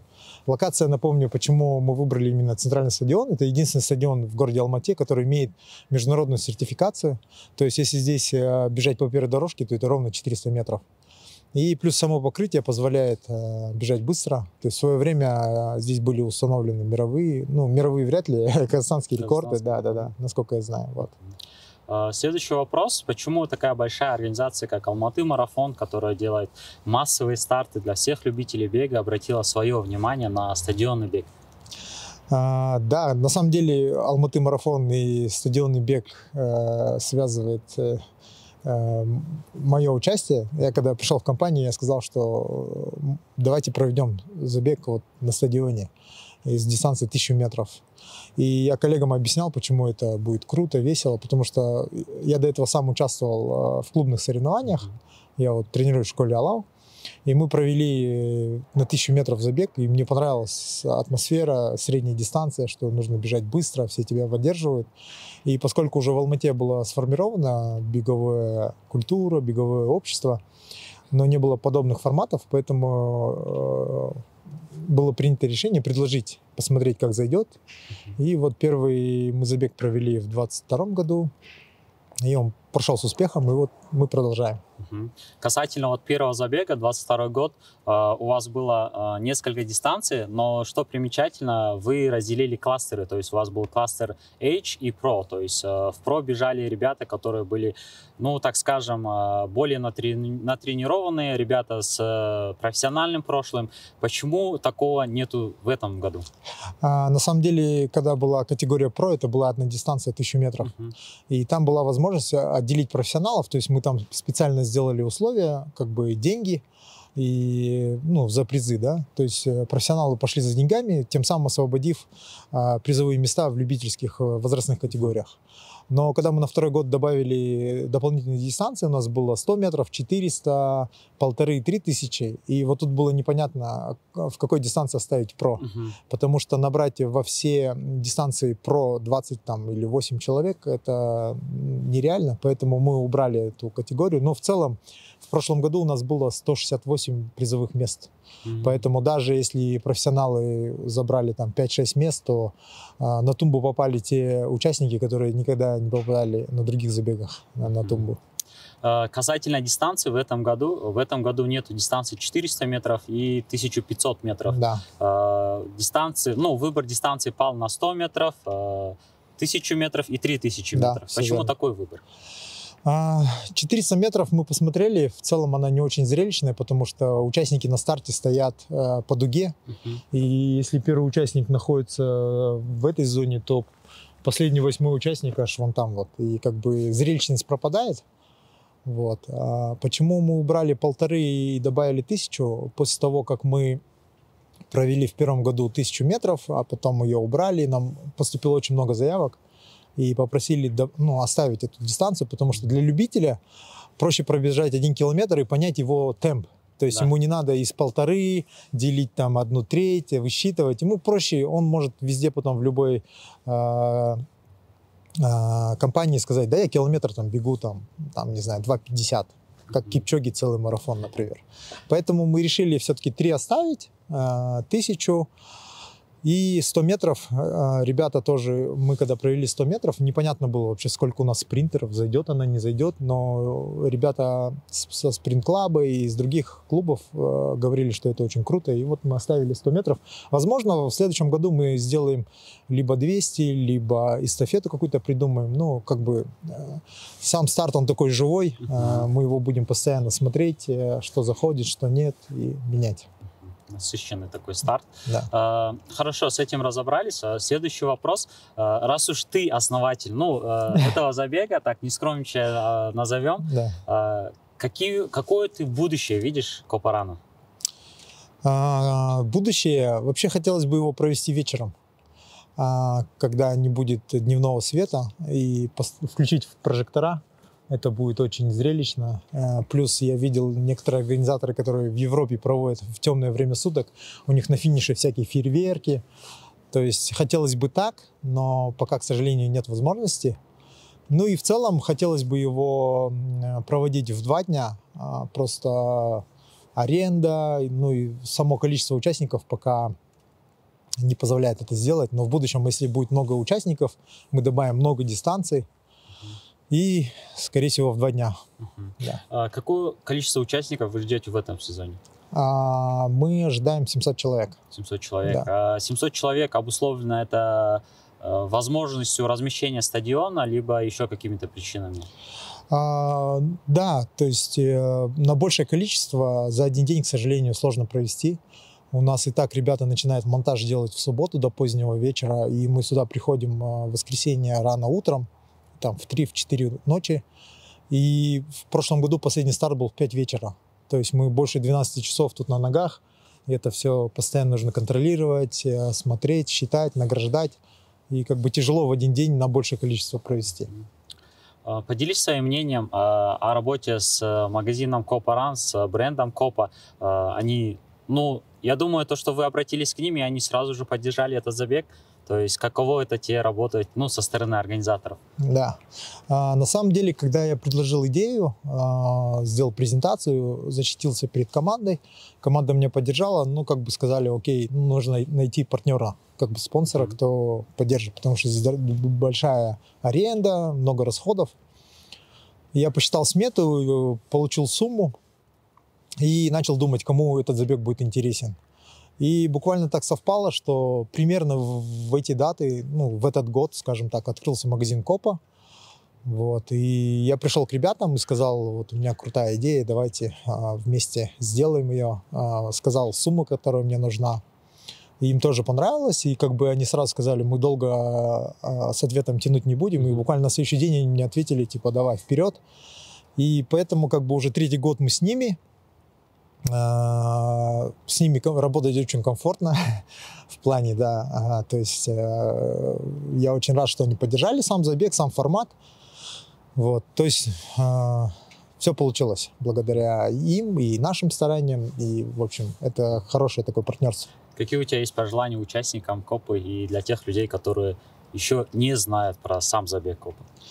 Я бы просто сам вот с удовольствием поучаствовал. У меня дома лежат шиповки. И Я их одеваю крайне редко. С не Айдосом рад- зарубился? Да. И я вот на соревнованиях в них еще не участвовал. И я вот прям... э, Это такой must-have для тех, кто много бегает, уже продвинутый любитель. И попробовать вот это, каково бежать э, на соревнованиях в шиповках. То есть это же максимально близко к э, профессионалам, Да. к легкой, как бы, к Олимпиаде, и к всякому такому. Согласен. Вот. Поэтому я всем советую не бояться средних, коротких дистанций, а, обязательно пробежать. Это максимальный драйв такой, э, как это, ну там, тысяча метров, это пять минут, и ты, ты, и ты получил медаль. Да. А Вообще, в принципе, какой любимый спортивный бренд? Ух ты, это такой вопрос сложный.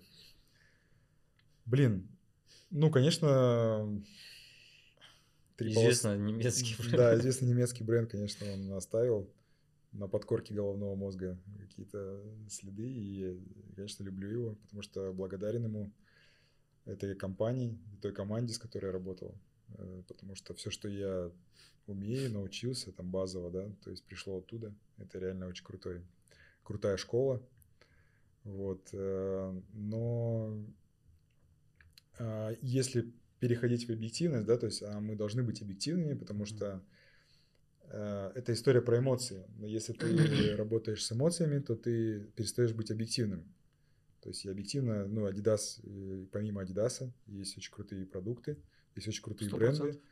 И я бы еще сказал, что это история цикличная, потому что, ну, иногда то есть, какие-то бывают спады в дизайне, да, то есть, ну, например, вот сейчас Adidas делает, ну, реально клевый продукт. То есть, Да. но были моменты, когда они реально проседали, и что-то, ну, то есть кто-то выходит другой на пик, например, там, да, там появились Vapor, да, там все э, ушли Все, в все, Nike, да.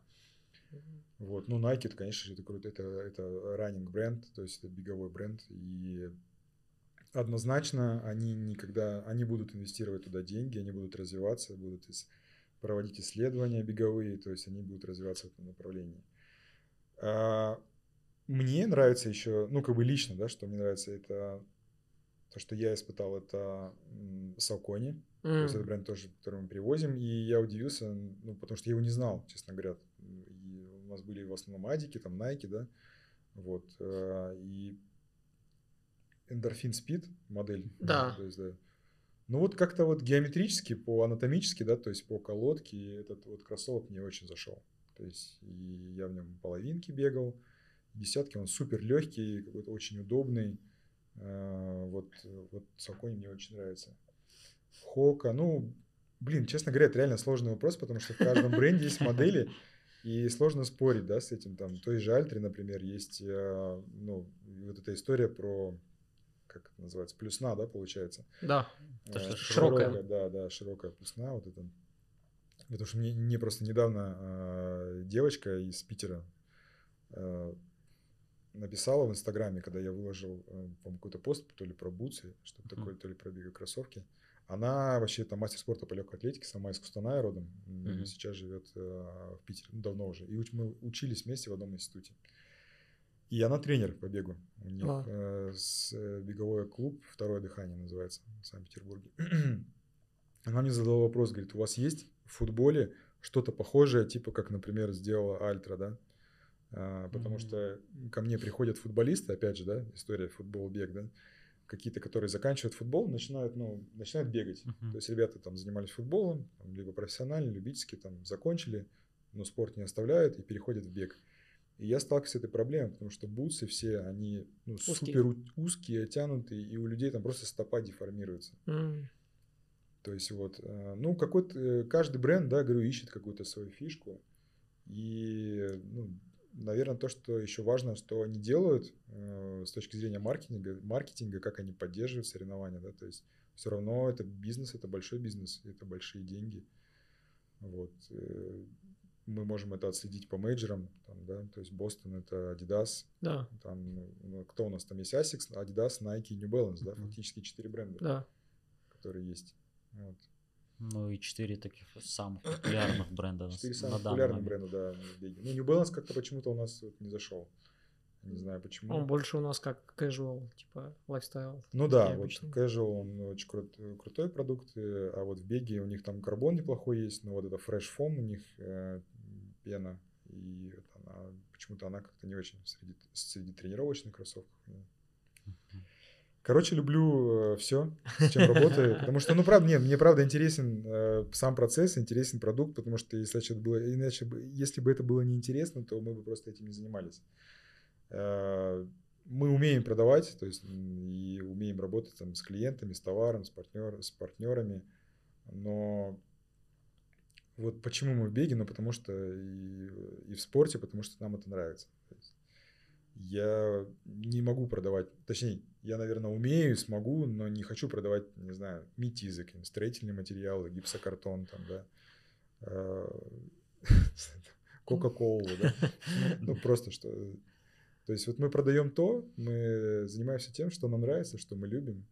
Поэтому все, что мы привозим, мы считаем, что это интересно и может быть интересно нашим покупателям, э, бегунам, любителям, что это может помочь как-то достичь там результатов, либо попробовать что-то новое. Поэтому здесь однозначного ответа нет. Э, думаю, все, что мы привозим, значит, если на это падает наш выбор, значит, это нам нравится, интересно.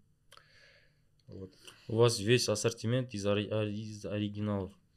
Сто процентов, да. да, мы подходим к А вот да. как, вы, как вы относитесь Назреваем. к э, реплике? То есть вы когда вот начинали, вы могли бы пойти другим путем и завозить реплику и захватить побольше рынок, да. затрат делать, да. Ну, и, да, да, да. как и, бы масс-маркет. Давайте и очень захватить. легкий путь на да. самом деле. Можно провести на самом деле еще этот э, опрос, да, наверное, как это называется, голосование э, реплика. Просто существует множество названий у этой истории, да? Там? Да. Все, да. Почему-то все магазины придумали вот это слово реплика. Ну, потому это, что оно звучит не так плохо. Ну, это паль. Реплика, топ-реплика еще есть. А, а, а типа они делятся? Заводской Китай, да? Градация еще есть. Да-да, ну типа там топ-реплика, реплика, заводской Китай, люкс-реплика, я слышал, короче. Ну, блин, я отношусь к этому плохо, парни, как бы, но это самообман. Ну, то есть... Люкс-реплика. Э... Я теперь буду говорить люкс-реплика, а не пали. Ну да, как бы, мы, я понимаю, как бы, мы понимаем, что, конечно, люди, которые покупают э, там кроссовки, там, Pegasus за 25 тысяч тенге, там, или Alpha Fly, там, за 30 тысяч тенге, Хотя я не знаю, машина уже столько не стоит. Я просто, ну, реально не, не, мониторю. А, ну, скорее всего, это не наша целевая аудитория, потому что и их не притянешь. Но если человек сделал свой выбор, то есть я не могу, мы не можем заставить его, то есть для него вот ок, за 25 тысяч купить Пегас и в них бегать, например. Ну, мы в такие игры не играем, никогда не играли и играть не будем. А, я думаю, что люди просто как бы уже выдают желаемое за действительное э, и при этом себя как-то обманывают. Ну, вот эти аргументы все, что они точно такие же, что uh-huh. они по ощущениям точно такие же, что там пена точно такая же. Один простой вопрос, ну зачем вы тогда свуш туда клеите? Не, ну если они реально такие же, ну зачем вы свуш клеите? Ну пусть они будут no name, назовите их там Ксиньбао какие-нибудь, не знаю. Ну да, и просто другим. Ну да, они же такие же, ну как бы продайте такие же кроссовки крутые, да, как вы считаете. Ну, зачем вы свуш туда клеите туда? Или три полосы, name, или там... name. Да. То есть, значит, не такие же. Вот. Поэтому отношение негативное, и есть, ну вот говорю, какие-то с точки зрения качества первого, да, но и с точки зрения просто каких-то интеллектуальной собственности, потому что мы так или иначе все делаем какое-то дело, наше ремесло, вы делаете подкасты, вы развиваете сообщество, мы торговая компания, которая предоставляет там классный продукт на рынке Казахстана беговой, и мы идем тот путь непростой, э, через трудности, да, чтобы заработать себе это имя. Ну, грубо говоря, если завтра там в городе Актау кто-то проведет подкаст и назовет его Желя Як, там, да, на YouTube там выставит как Желя Як, заработает какие-то деньги, просмотры с YouTube получит. Ну, вам, наверное, не будет, будет не очень приятно, да, что, ну, да, что, это, мимо, что это мимо вас там ушло, потому что вы, вы уже какой-то бренд, да, то есть у вас есть имя, вы делаете продукт, да, он не материальный, там не ощутимый, но это продукт интеллектуальной собственности. Угу. Поэтому это, это про уважение, потому что, ну, не знаю, можно книгу почитать, там, да, продавец обуви, там, да, или что-то и, там, про Адольфа Дассера почитать. Ну, то есть да. это люди, которые создавали, которые инвестировали в это свои силы, энергию, время, деньги, здоровье, да, где-то, то есть они развивали этот бренд. И ты такой приходишь, говоришь, блин, наклею как бы сюда вот Суш. Да. Нет, а есть, смотри, есть э, откровенные фейки, паль китайская, которая копирует, а есть китайские бренды, типа Xtep, и там э, Ленинг. Ленинг э, не рассматривали, не смотрели на, в, в их сторону? Честно говоря, нет. Э, я себе задавал этот вопрос, потому что, ну, всегда есть соблазн, э, потом, ну, типа Китай рядом, а, какие-то условия, наверное, хорошие дают. Но, блин, все-таки нет, потому что пока что я ничего против них не имею, то есть, как бы, да, то есть эти бренды развиваются самостоятельно, и они играют по-честному. по Да, да. то Они есть, ну, точно так же, просто они нач- начали, условно говоря, со своего рынка. Ну, говорю, тут присутствует какой-то личный момент эмоциональный. Все-таки мне сложно э, делать выбор в пользу того, что тебе не лежит по душе. Мгм. Ну, вот, вот это как, ну, я не знаю, с китайскими машинами. Я не знаю, пока что там китайская машина. Этого же нет истории какой-то, да, там, то есть э, и у- там у у брендов там есть 50-летняя история, там 60-летняя, то есть уже там почти вековая спортивная. Китайские бренды, они, конечно, развиваются, но а, это же не только про кроссовок, да, то есть это же не только про э, история про промежуточную подошву, там, Мгм. про амортизацию. Это же еще что-то другое, это там то, что ты любишь, то, что тебе нравится носить, э, то, с чем Да. ты себя ассоциируешь. Да, да. Вот, а, вот здесь ну, больше, чем просто продуктовая. Да. Ну и на самом деле, то есть, собственно, про позиционирование себя, то есть, и нужно учесть, да, то, что весь у нас подкаст, он строится вот на, вокруг наследия, а, вокруг ответственности вообще, да, то есть, начиная какое-то дело, мы всегда ответственны за него, то есть, ответственны за продукт и, э, соответственно, ответственны за результаты, которые мы получим, да, условно, наш продукт, э, наш подкаст, наши обзоры, наверное, это результатом будет э, мотивация для какого-то там парня, либо девушки начать бегать, либо изменить свою жизнь, условно, да. Это в идеале, это э, в идеале, ну, жизнь, да. А, то есть магазины, которые про- м, продают не, ре- не оригинальную экипировку, то есть нужно и отметить то, что, в принципе, даже не касаясь моральных, в принципе, устоев, я работал в логистике, а, и я и сейчас связан в логистике, я знаю, как это все делается и как это все делается в обход законодательства, в обход налоговой службы. И это во многом случае это минус для государства, чем плюс. Допустим, ты, допустим, паленый Nike официально, ну как бы Не come on, завезешь, да, везешь Не- не каким-то- завезешь. как- Каким-то карго везешь, там, не знаю, без Да. документов. там, черную, не серую, там, Серую, как, да. как хотят, там любой цвет они называют. То, то же самое, как и там в градации там, реплики в этом плане. Сто процентов я хотел это добавить, потому что, ну, как бы я всегда на какие-то вещи стараюсь смотреть, э, если мы говорим про бизнес, то с точки зрения с позиции предпринимателя, да, и без эмоций. Ну, то есть реально, если вы везете там какой-то какой-то фейк, там, да, топ-реплику, как бы вы ни назвали, то, э, скорее всего, вы не завозите это официально, там, да, то есть не платите налоги. Ну, блин, если ты не платишь налоги, что ты хочешь тогда от этого государства тогда? Ну, то есть все уже, когда, тогда как бы не переживаешь, что у тебя ямы на дорогах, то есть, ну, я не знаю, то есть что ты сделал, да, то есть мы все время что-то просим, как бы, ну, наверное, не безосновательно, да, но с другой стороны, ты сам играешь по этим правилам, да, Э, это же это, это все исключительно вопрос налогов твоих. Если ты не платишь, сюда не сдаешь ничего, как ты хочешь, чтобы тебе там в поликлинике э, врач э, с тобой там ну, хорошо работал? Почему ты хочешь, чтобы у тебя дороги были хорошие? Почему ты хочешь, чтобы там твой ребенок в государственный детский сад ходил, и там было все круто, там, да, а не жесть какая-нибудь. Ну, вот это с этого все начинается, я думаю. Поэтому именно вот какая-то социальная сторона, она тоже важна. Ну, для меня, по крайней мере, да. Да. И, ну, это максимально поддерживает, то есть, создавая что-то, получая, нужно тоже уметь отдавать. То есть, это определенно, в принципе, так и работает, наверное, жизнь. То есть, поэтому это пища, пища для ума для тех ребят, которые, не знаю, посещают такие магазины. То есть, надо просто в зеркало посмотреть и принять себя таким, какой ты есть, и быть, а не казаться. И все. Стопудово. Э, Иллюзия это есть иллюзия и реальность, Мгм. да? Э. Иллюзия это все, что происходит в твоей голове, реальность это все, что происходит в твоей жизни. Реальность ты купил не подделку. Иллюзия это то, что ты веришь, что, что она как бы, что это, что она дает такие же результаты, что это тот же Пегас. Но это не, это, это иллюзия, это происходит в твоей голове, реальность другая. Это та же самая иллюзия 20, 30, 20, 50. То есть, Поэтому, да, то есть историю, э, там, какие-то победы надо делать сейчас, здесь, а, пытаться рисковать. То есть, в принципе, вообще э, история любого бренда, история там какого-то успеха, это всегда в основе лежит риск. Определенно. Сто То процентов.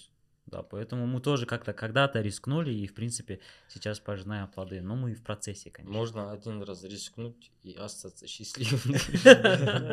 Да, Ну, кстати, еще, знаете, я, добавлю, что э, пользу того, ну, того, что покупать оригинальную обувь, и существует сейчас, говорю, множество инструментов.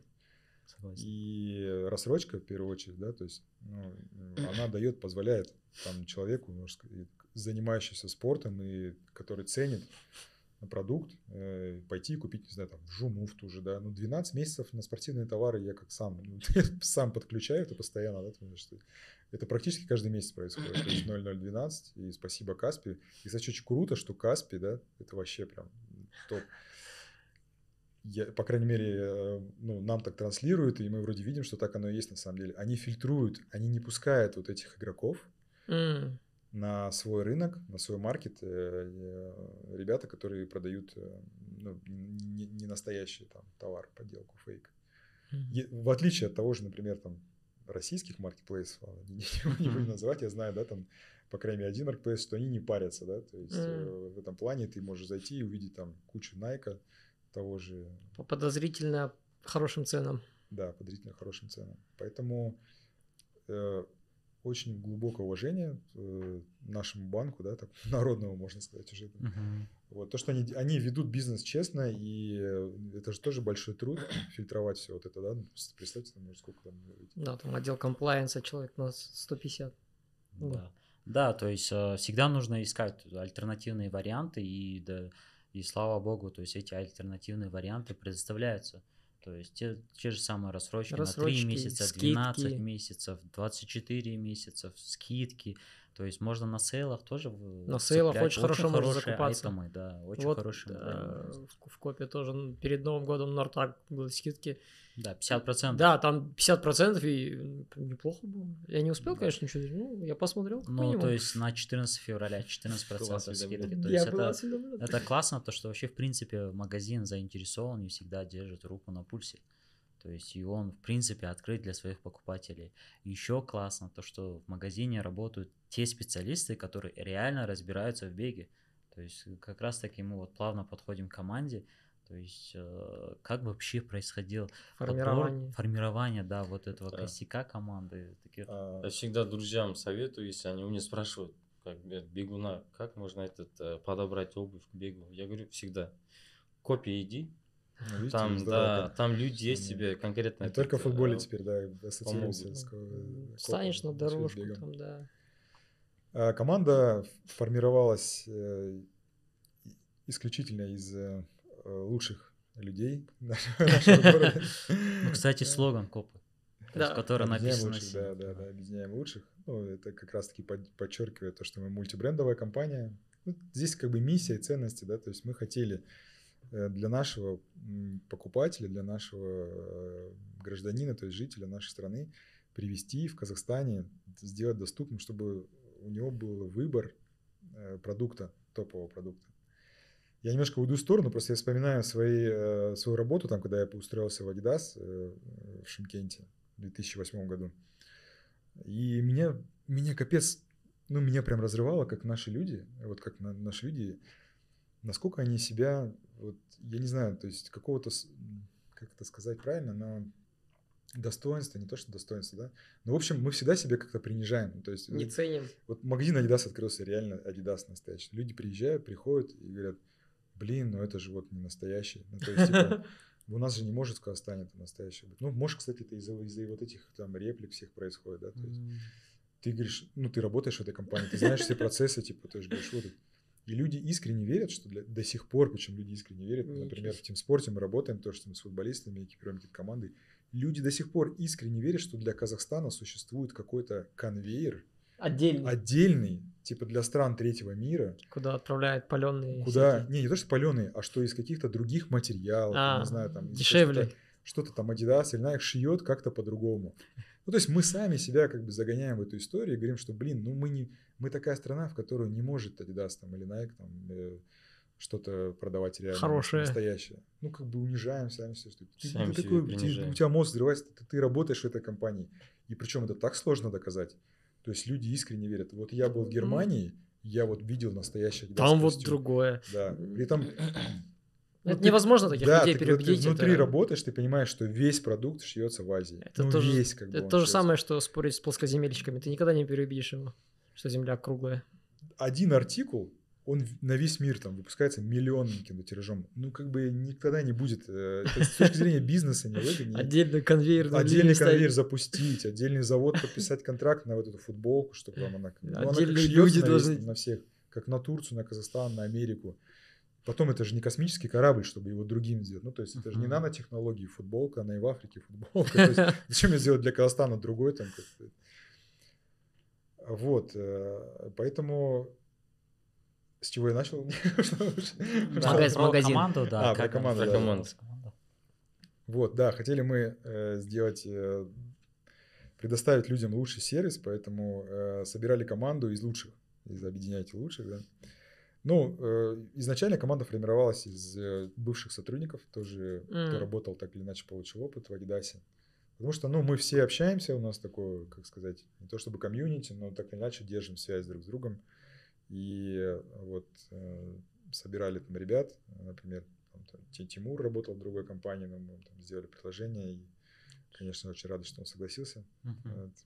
Сейчас, который он лидирует, в принципе, нашу розницу. Вот, поэтому изначально это были ребята, то есть процентов на 90 там бывшие сотрудники Adidas. Потом команда обновлялась, где-то там какая-то ротация происходила вот, э, из, э, из других стран, ну, из соседней страны mm-hmm. ребята начали приезжать. И, причем очень, ну, очень, крутые такие, да, и, и как в спорте, и с точки зрения и продаж, там, каких-то бизнес-процессов. Ну да, мы э, делаем ставку на то, чтобы мы могли дать лучший сервис, объяснить э, касательно продукта, что, что у нас в магазине есть. И я бы еще, наверное, хотел рассказать про стельки, да, мы... Сидас? Сидас, да, да, да, то есть... Э, Это эксклюзив. Да, у нас в нашем магазине есть э, такой продукт очень крутой, который, опять же, если ты испытаешь его на себе, то ты, ну, ты реально вот больше твоя жизнь разделится на две части. я так все фразы сделал. Вот у меня кроссовки есть, да, и я это первая там пара не балансов, которые у меня вообще в жизни. До этого не было не баланса. Я думал, это то ли кроссовки такие крутые, то ли что, да. То есть, ну, э, вот Сидас, тот бренд, который изготавливает стельки, э, и мы привезли станцию, э, которая может изготавливать кастомные стельки, уникальные под твою стопу сделав для себя эти стельки, я понял, что, ну, реально, как бы это совершенно другие ощущения, комфорт, и это штука, которая реально работает. Ну вот, блин, ну вот, за, за то, что за то, что не стыдно.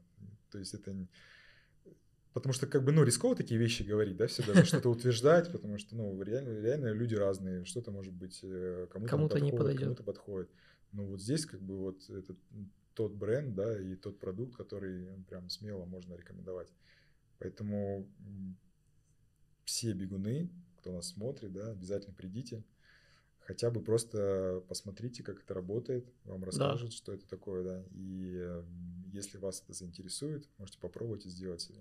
Ну, у нас. Э, в Инстаграме Желяях я ходил, делал, можете посмотреть ролики там. Кратко Кстати, э, как тебе они? Ну, я пока в них особо не ходил, потому что я сделал их для кроссовок, а наступили внезапные опять холода, пришлось в сапоги переодеться, они в сапоги немножко не влазили. Это беговые или которые на лайфстайловые? Лайфстайловые, да. И вот сейчас опять только теперь начал, я снова только начал носить, поэтому сильно поделиться не могу опытом использования, но... Только правду, сто процентов, да. Да, и поэтому я не, не могу сильно сказать, но пока я то, что сейчас хожу, ну, прикольно, как минимум прикольно. Позже ну, скажу точно. Вообще в Европе такой, ну, как бы как по статистике, как нам давали, да, то есть такой опыт, что практически там каждый второй кроссовок люди, когда покупают, они стараются менять стельки. Uh-huh. То есть когда они обычные стельки э, базовые меняют на, на, на, на кастомные. Uh-huh. Да. Нужно отметить то, что, допустим, если особенно когда вы бегаете, есть особенности с, с стопы, то есть есть особенно там разные виды пронации, у вас завалы во внутреннюю либо во внешнюю сторону. Как раз таки в копии он представлен а, такой аппарат, который берет там кастомные кроссовки, э, кастомные стельки и делает под вашу именно стопу индивидуальные стельки. То есть да, там чем прям, и... прям вот так вот ногу обволакивает, слепок, вот так прям скульптуру делают, и по ней она запекается. Нет, это прям вот буквально литер, литерали твоя нога вот в кроссовке внутри. Причем, да, я хочу сразу сказать, что эта история не про медицину, ну, то есть, потому да. что я, потому что как у нас как только появился этот продукт, у нас сразу в комментариях там врачи объявились. Э, Эксперт. Ор- ортопеды, да, эксперт. Не это лечится, не ортопедический Не лечится стельки. плоскостопие стельками, не Только упражнениями. Не да, то есть... Сто процентов. Ну, нет волшебной таблетки, нужно попотеть. Я... Да. У меня плоскостопие, я до этого делал ортопедические стельки, я поэтому знаю, с чем сравнивать. И сто процентов это абсолютно разные вещи, потому что эм, когда ты носишь ортопедические стельки, твоя нога не работает, вообще не работает. Она тебе подпирает вот здесь вот, где изгиб стопы, где передняя часть стопы, и твоя нога работает по минимуму. И плоскостопие можно лечить только упражнениями 100%. Я стараюсь их делать, без них никак. Но подобная стелька в ежедневном это будет классно помогать. Да, она снимает просто нагрузку, даже элементарно, ты меньше устаешь, uh-huh. распределяет нагрузку твоей стопы более равномерно, правильно.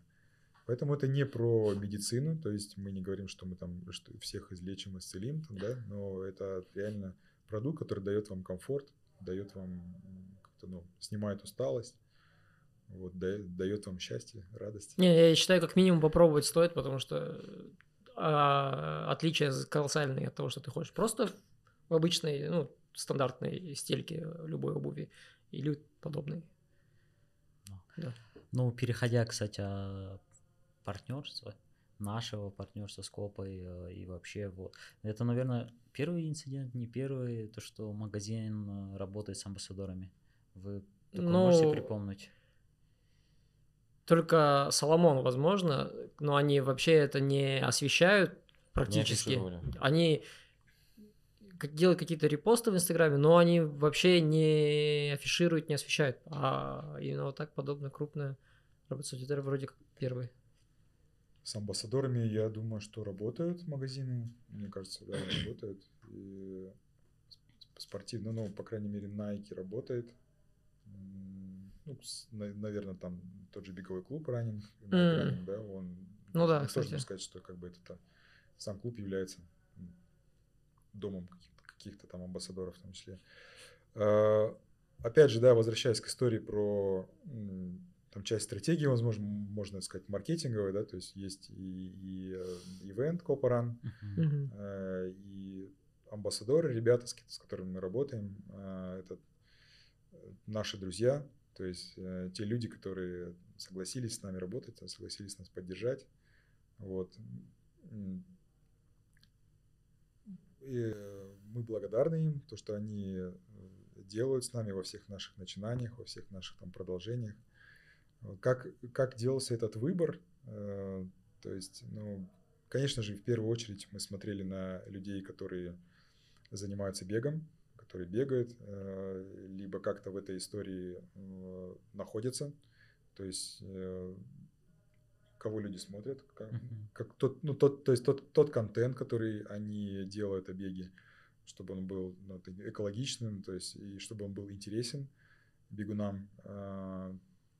Вот. Ну и, конечно же, есть какие-то личные истории у этих людей, которые близки нам. Например, там мы с Эльвирой Таховой участвовали летом э, в Ironman, да, в эстафете. Mm-hmm. Я, я плыл, она бежала. А, и наш э, сотрудник один, Саша Фролов, он ехал mm-hmm. на велосипеде. И она на самом деле очень крутая, очень крутой человек. Просто сам факт ее, сама история ее появления э, в этом фитнес-центре в Криде, да, сейчас. Да и как она вернулась в Казахстан, хотя она родом из Казахстана, но училась Долгое в России, время, да, да в России, в Томске. В России, была, была у нее возможность остаться там, но как она вернулась. То есть она реально крутой человек, который э, своим усилием, своей работой сам строит свою дорогу, свой путь. Вот. И она молочина большая, это вызывает большое уважение. Да, и просто рвалась в беговую индустрию да, на самом да, деле. Да, да резко очень. Ну, она она настоящая, как мне кажется, и очень такая чистая. Вот. Поэтому мы как бы сразу предложили ей сотрудничество. Привет, Эльвира, как ваши дела? Все отлично, спасибо большое. А, Подскажи, ты так классно, ярко и неожиданно ворвалась в беговую тусовку Алматы, и это было при этом органично, но никто не понял, что произошло. А, ты расскажешь про себя пару слов, про свой беговой путь? Я сама не поняла, что произошло, честно говоря. А, бегать я начала довольно поздно, 18 лет, когда поступила в универ. Бегала-бегала, потом отучилась на такую же специализацию, профессию. Потом немного работала там же, в том же городе. И потом что-то накрыла депрессия, разослала свое резюме вообще везде, где только можно, mm-hmm. все триатлонные организации. И пришел ответ отсюда, и меня позвали и раскачали, и поэтому я здесь. Блин, классно. Ну, получается, ты прям профессиональный тренер, который ну, отучился на это. Ну, то есть беговой тренер. Да, четыре года бакалавра, два года магистратуры. Вау, здесь такого вообще не встретишь, это супер редкость. А мы сейчас находимся вот в Крида база бега, ты являешься у них тренером, они тебя поддерживают, и тебя также поддерживает магазин Копа. Расскажи, как вот влияние поддержки такая э, отражается в твоей повседневной жизни как-то mm-hmm. или тренировочном этапе? Ну, для меня, наверное, как для тренера, в первую очередь важно, что я могу своих атлетов отправить mm-hmm. в определенный магазин, где им подберут грамотную экипировку, где не будут толкать разную там ерунду, лишь бы, лишь бы продать. Mm-hmm. И поэтому тут я спокойна. На мне, наверное, это отражается тем, что у меня сейчас появилась просто куча беговой экипировки разной. Потому что, когда я была в профессиональном спорте, не было буквально ничего. Там я в одних кроссовках бегала года два, ага. там одну толстовку носила, там лонгслив тоже годами. Известная история. А сейчас просто столько всего, столько можно пробовать, и поэтому я теперь там знаю про все кроссовки, наверное, что в магазине и есть. Это хорошо, когда есть, э, не задумываешься о том, что носить на следующий сезон. Вкратце расскажи про чемпионат э, в Астане, 800 метров, первое место. Да, 800 метров, первое место вообще первый раз за всю мою карьеру. Здесь, наверное, для меня было важно вывести саму себя на этот результат, потому что я сейчас тренируюсь самостоятельно. Угу. И было важно вот показать уровень, ну, хотя бы на уровне кандидата в мастера спорта. Потому что я тренировалась, в принципе, по тем же методикам, что мы с тренером тренировались, там немного своего добавила. Но мне было важно именно не перебегать, потому что mm-hmm. я такая натура, что если что-то начинаю делать, это просто могу быстро уйти в перетрен. А тут вроде бы все получилось, все сложилось, поэтому я рада, довольна. Потом анализировала, что еще можно было бы до- добавить.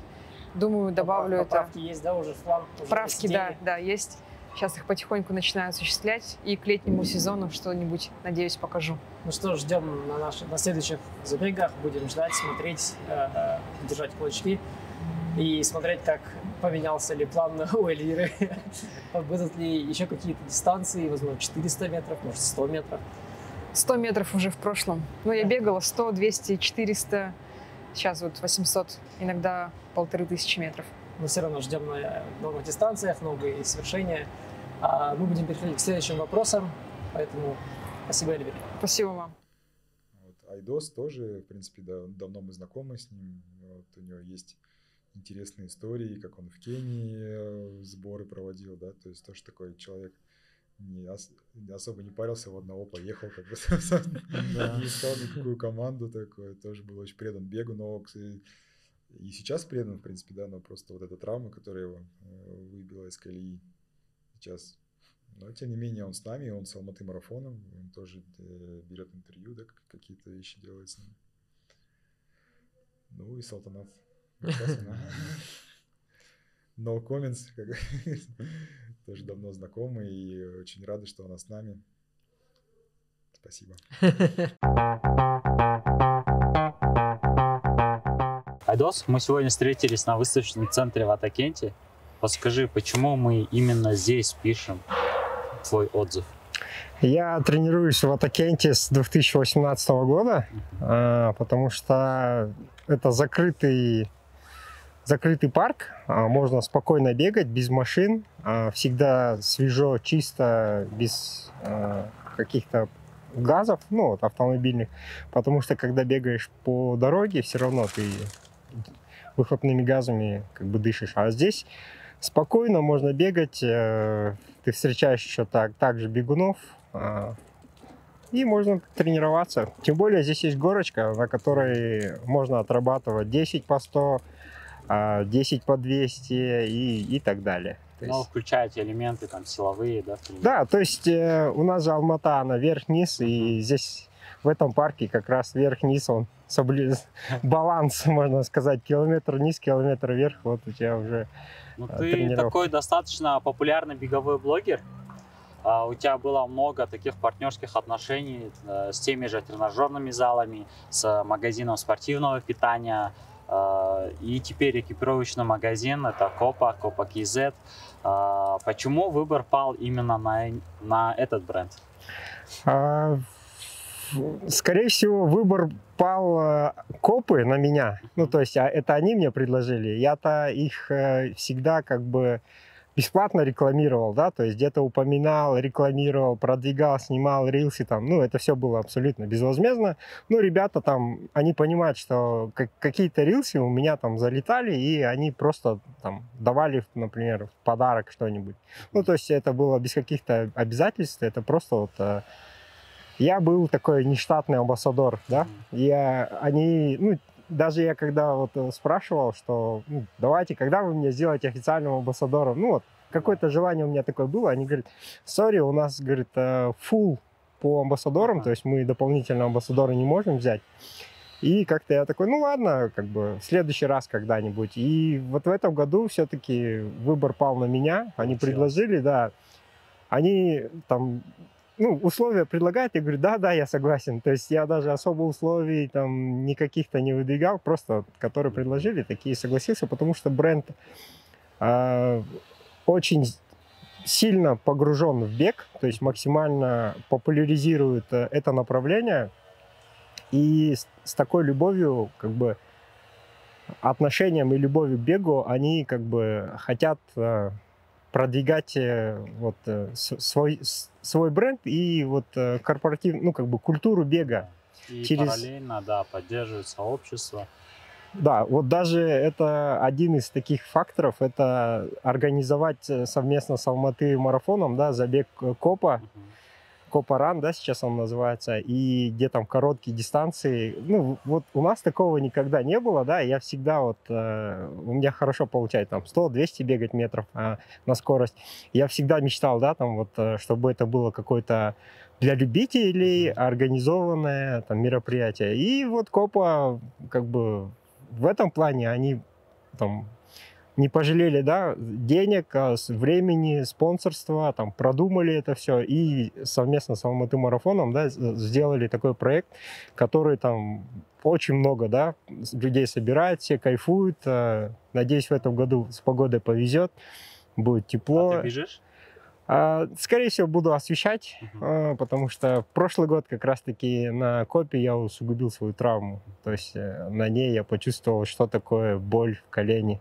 Ну, то есть дал лишнюю нагрузку, как бы, и потом уже поехал на Бостон с травмированной ногой. А, касательно вот травмы, то есть у тебя был такой длительный период восстановления, реабилитации, но партнерство началось в этом году, 2024. А, успел ли ты как-то прочувствовать вот это сотрудничество? А, как-то влияет ли КОПа на твою беговую жизнь? Я думаю, что все-таки влияет, несмотря на то, что я постоянно нахожу время снимать рилсы, какой-то материал, какой-то контент, чтобы быть в инфополе, потому что сейчас инфополе очень забито, да, то есть все пытаются что-то продать, всегда пытаются что-то там э, показать, рассказать, и ты должен как бы быть в обоими, да, то есть ты должен всегда уметь э, снимать быстрые рилсы, там, на какую-то тему, э, все это озвучивать, и в этом плане Копа как бы держит меня в тонусе, чтобы я мог э, быть да, да, непрерывно и быть более медийным, потому что уже с, э, после того, как я стал амбассадором Копы, э, все чаще и чаще я там встречаю ребят, которые говорят мне, о, ты амбассадор копы, да, ну там, uh-huh. как там, ну вообще, ну, интересуются, спрашивают. То есть э, для них э, вот это, э, что официальная галочка там, да, статус амбассадора, для них это интересно. Ну, а для меня это тоже как бы важно, да, что я остаюсь в медийном пространстве. И да, Копа очень сильно мне в этом помогает, и я думаю, что э, те предыдущие бренды, которые, которых я был амбассадором, они все-таки не так профессионально относились, как э, Копа. Просто до подписания реклам, ну, как бы контракта я был э, ну, я, я все, все видел, как снимает Копа, что есть команда, что есть стратегия именно показать так или иначе. Ну, то есть я это все видел, и мне, когда там предложили стать амбассадором, я согласился, потому что это очень классный опыт. То есть Копа на этом очень заморачивается, на контенте, и мне очень интересно быть в команде. Какие преимущества ты видишь в работе с Копа? То есть какие ты плюшки, плюсы получаешь для своей работы, для своей видимости. Доступ непрерывной экипировки к новым моделям кроссовок. Ну да, это несомненно, потому что вот вышли новинки Adidas, да, и вот этот первый дроп, мы его как бы распаковывали, показывали, рассказывали. А сейчас еще хотим сделать дополнительные, ну, съемку, да, этот э, материала про эти кроссовки, там уже прям протестировать их.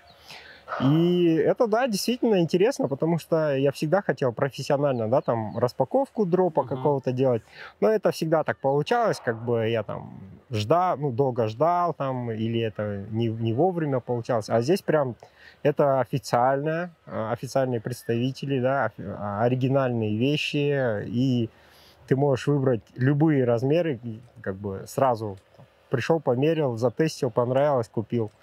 Э, и мне кажется, это очень полезно для нашего рынка, потому что до этого особо так никто не делал. Ну, я да, не, не было. Если приходит сюда дроп какой-нибудь там официальных э, кроссовок, то их быстро раскупают, и у тебя на популярные размеры там тебе приходится заказывать дополнительно. Ну, то есть в наличии не бывает. Какой у тебя любимый бренд, который представлен в ассортименте в копии? А, в Копе мне понравилось э, и открыла... Ну, Копа открыла для меня Пуму. То есть mm. максимально интересно, что есть такие вещи для спорта, для бега.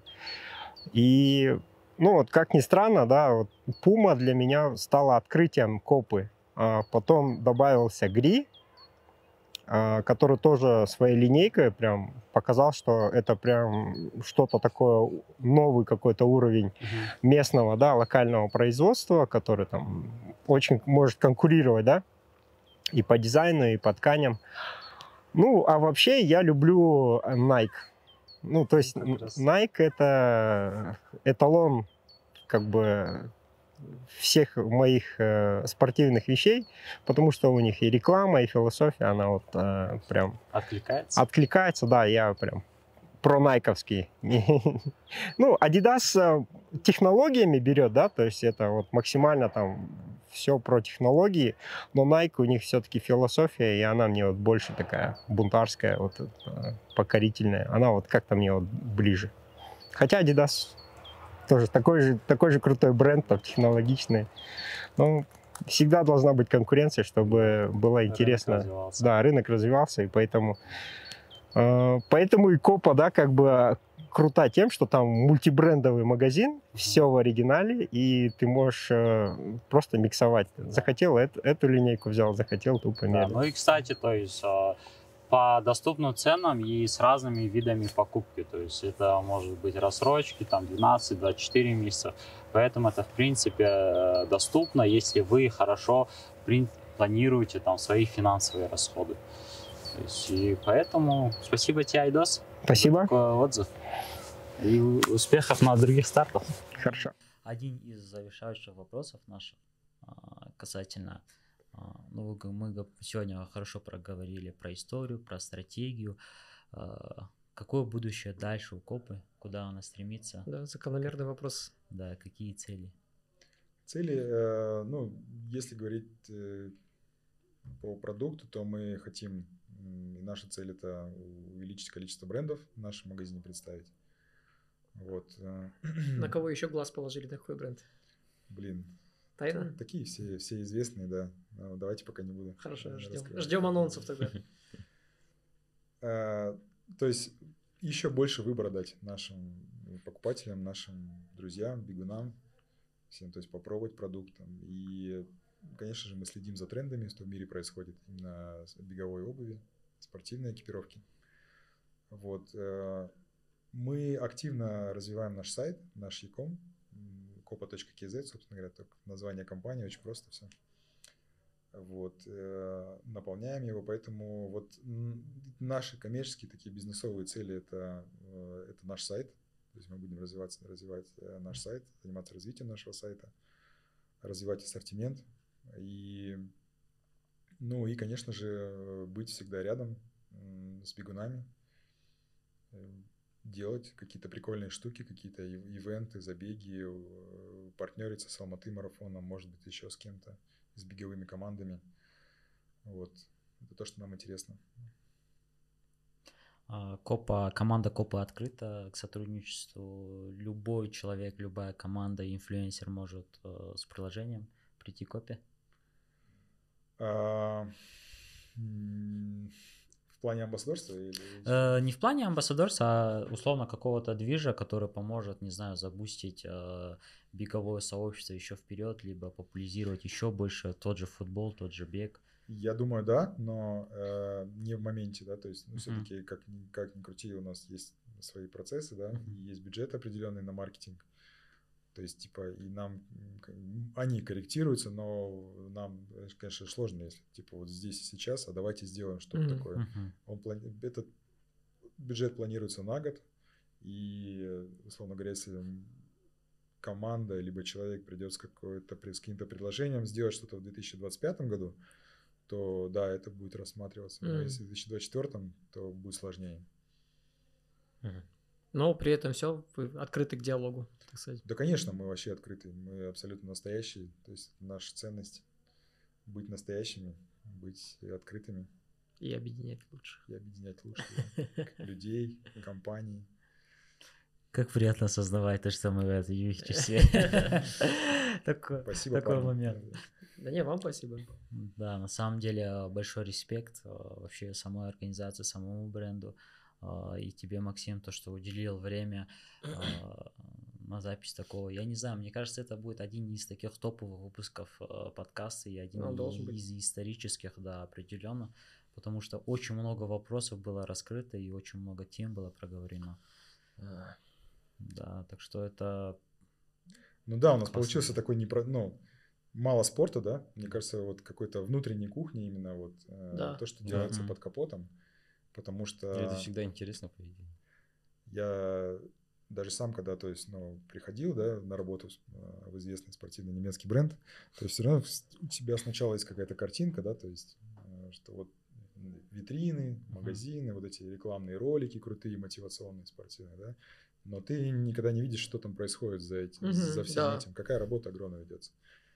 Ну, как, как и в принципе везде, наверное, да, Всегда то есть так. Э, даже тот подкаст, который вы увидите, Э, он будет переработан, за ним будет там какое-то количество да. часов. Большая да, работа. Большое, да, там десятки, там, не знаю, сотни часов монтажа. Сто процентов. Вот, вот, и, наверное, он тем и интересен, что мы говорили о каких-то вещах, о которых меньше говорят, чем про спорт. Потому что бегуны в основном говорят про спорт, а тут мы поговорили тут, про какие-то да, бизнесовые штуки. И, это и чуть-чуть похаяли правительство. Как без этого? Ну, без, э, без этого всего, без этих обсуждений, к сожалению, не будет прогресса. А, сондықтан да наш подкаст а, близится к концу, он заканчивается, поэтому а, все, кто слушал, переходите на платформу, на которых вы слушали, ставьте лайки и подписывайтесь на наш канал, ищите нас на YouTube, в Инстаграме, подписывайтесь на э, Инстаграм-страницу Жиляях, на Копу, а, смотрите крутые видосы, которые мы создаем, смотрите наши обзоры, комментируйте и одевайте только оригинальную экипировку. Вот последнее прям очень важно. Все, заговорились. Будьте настоящими. Да, Носите будьте настоящими. Да, это определенно. А, так, сейчас я попробую.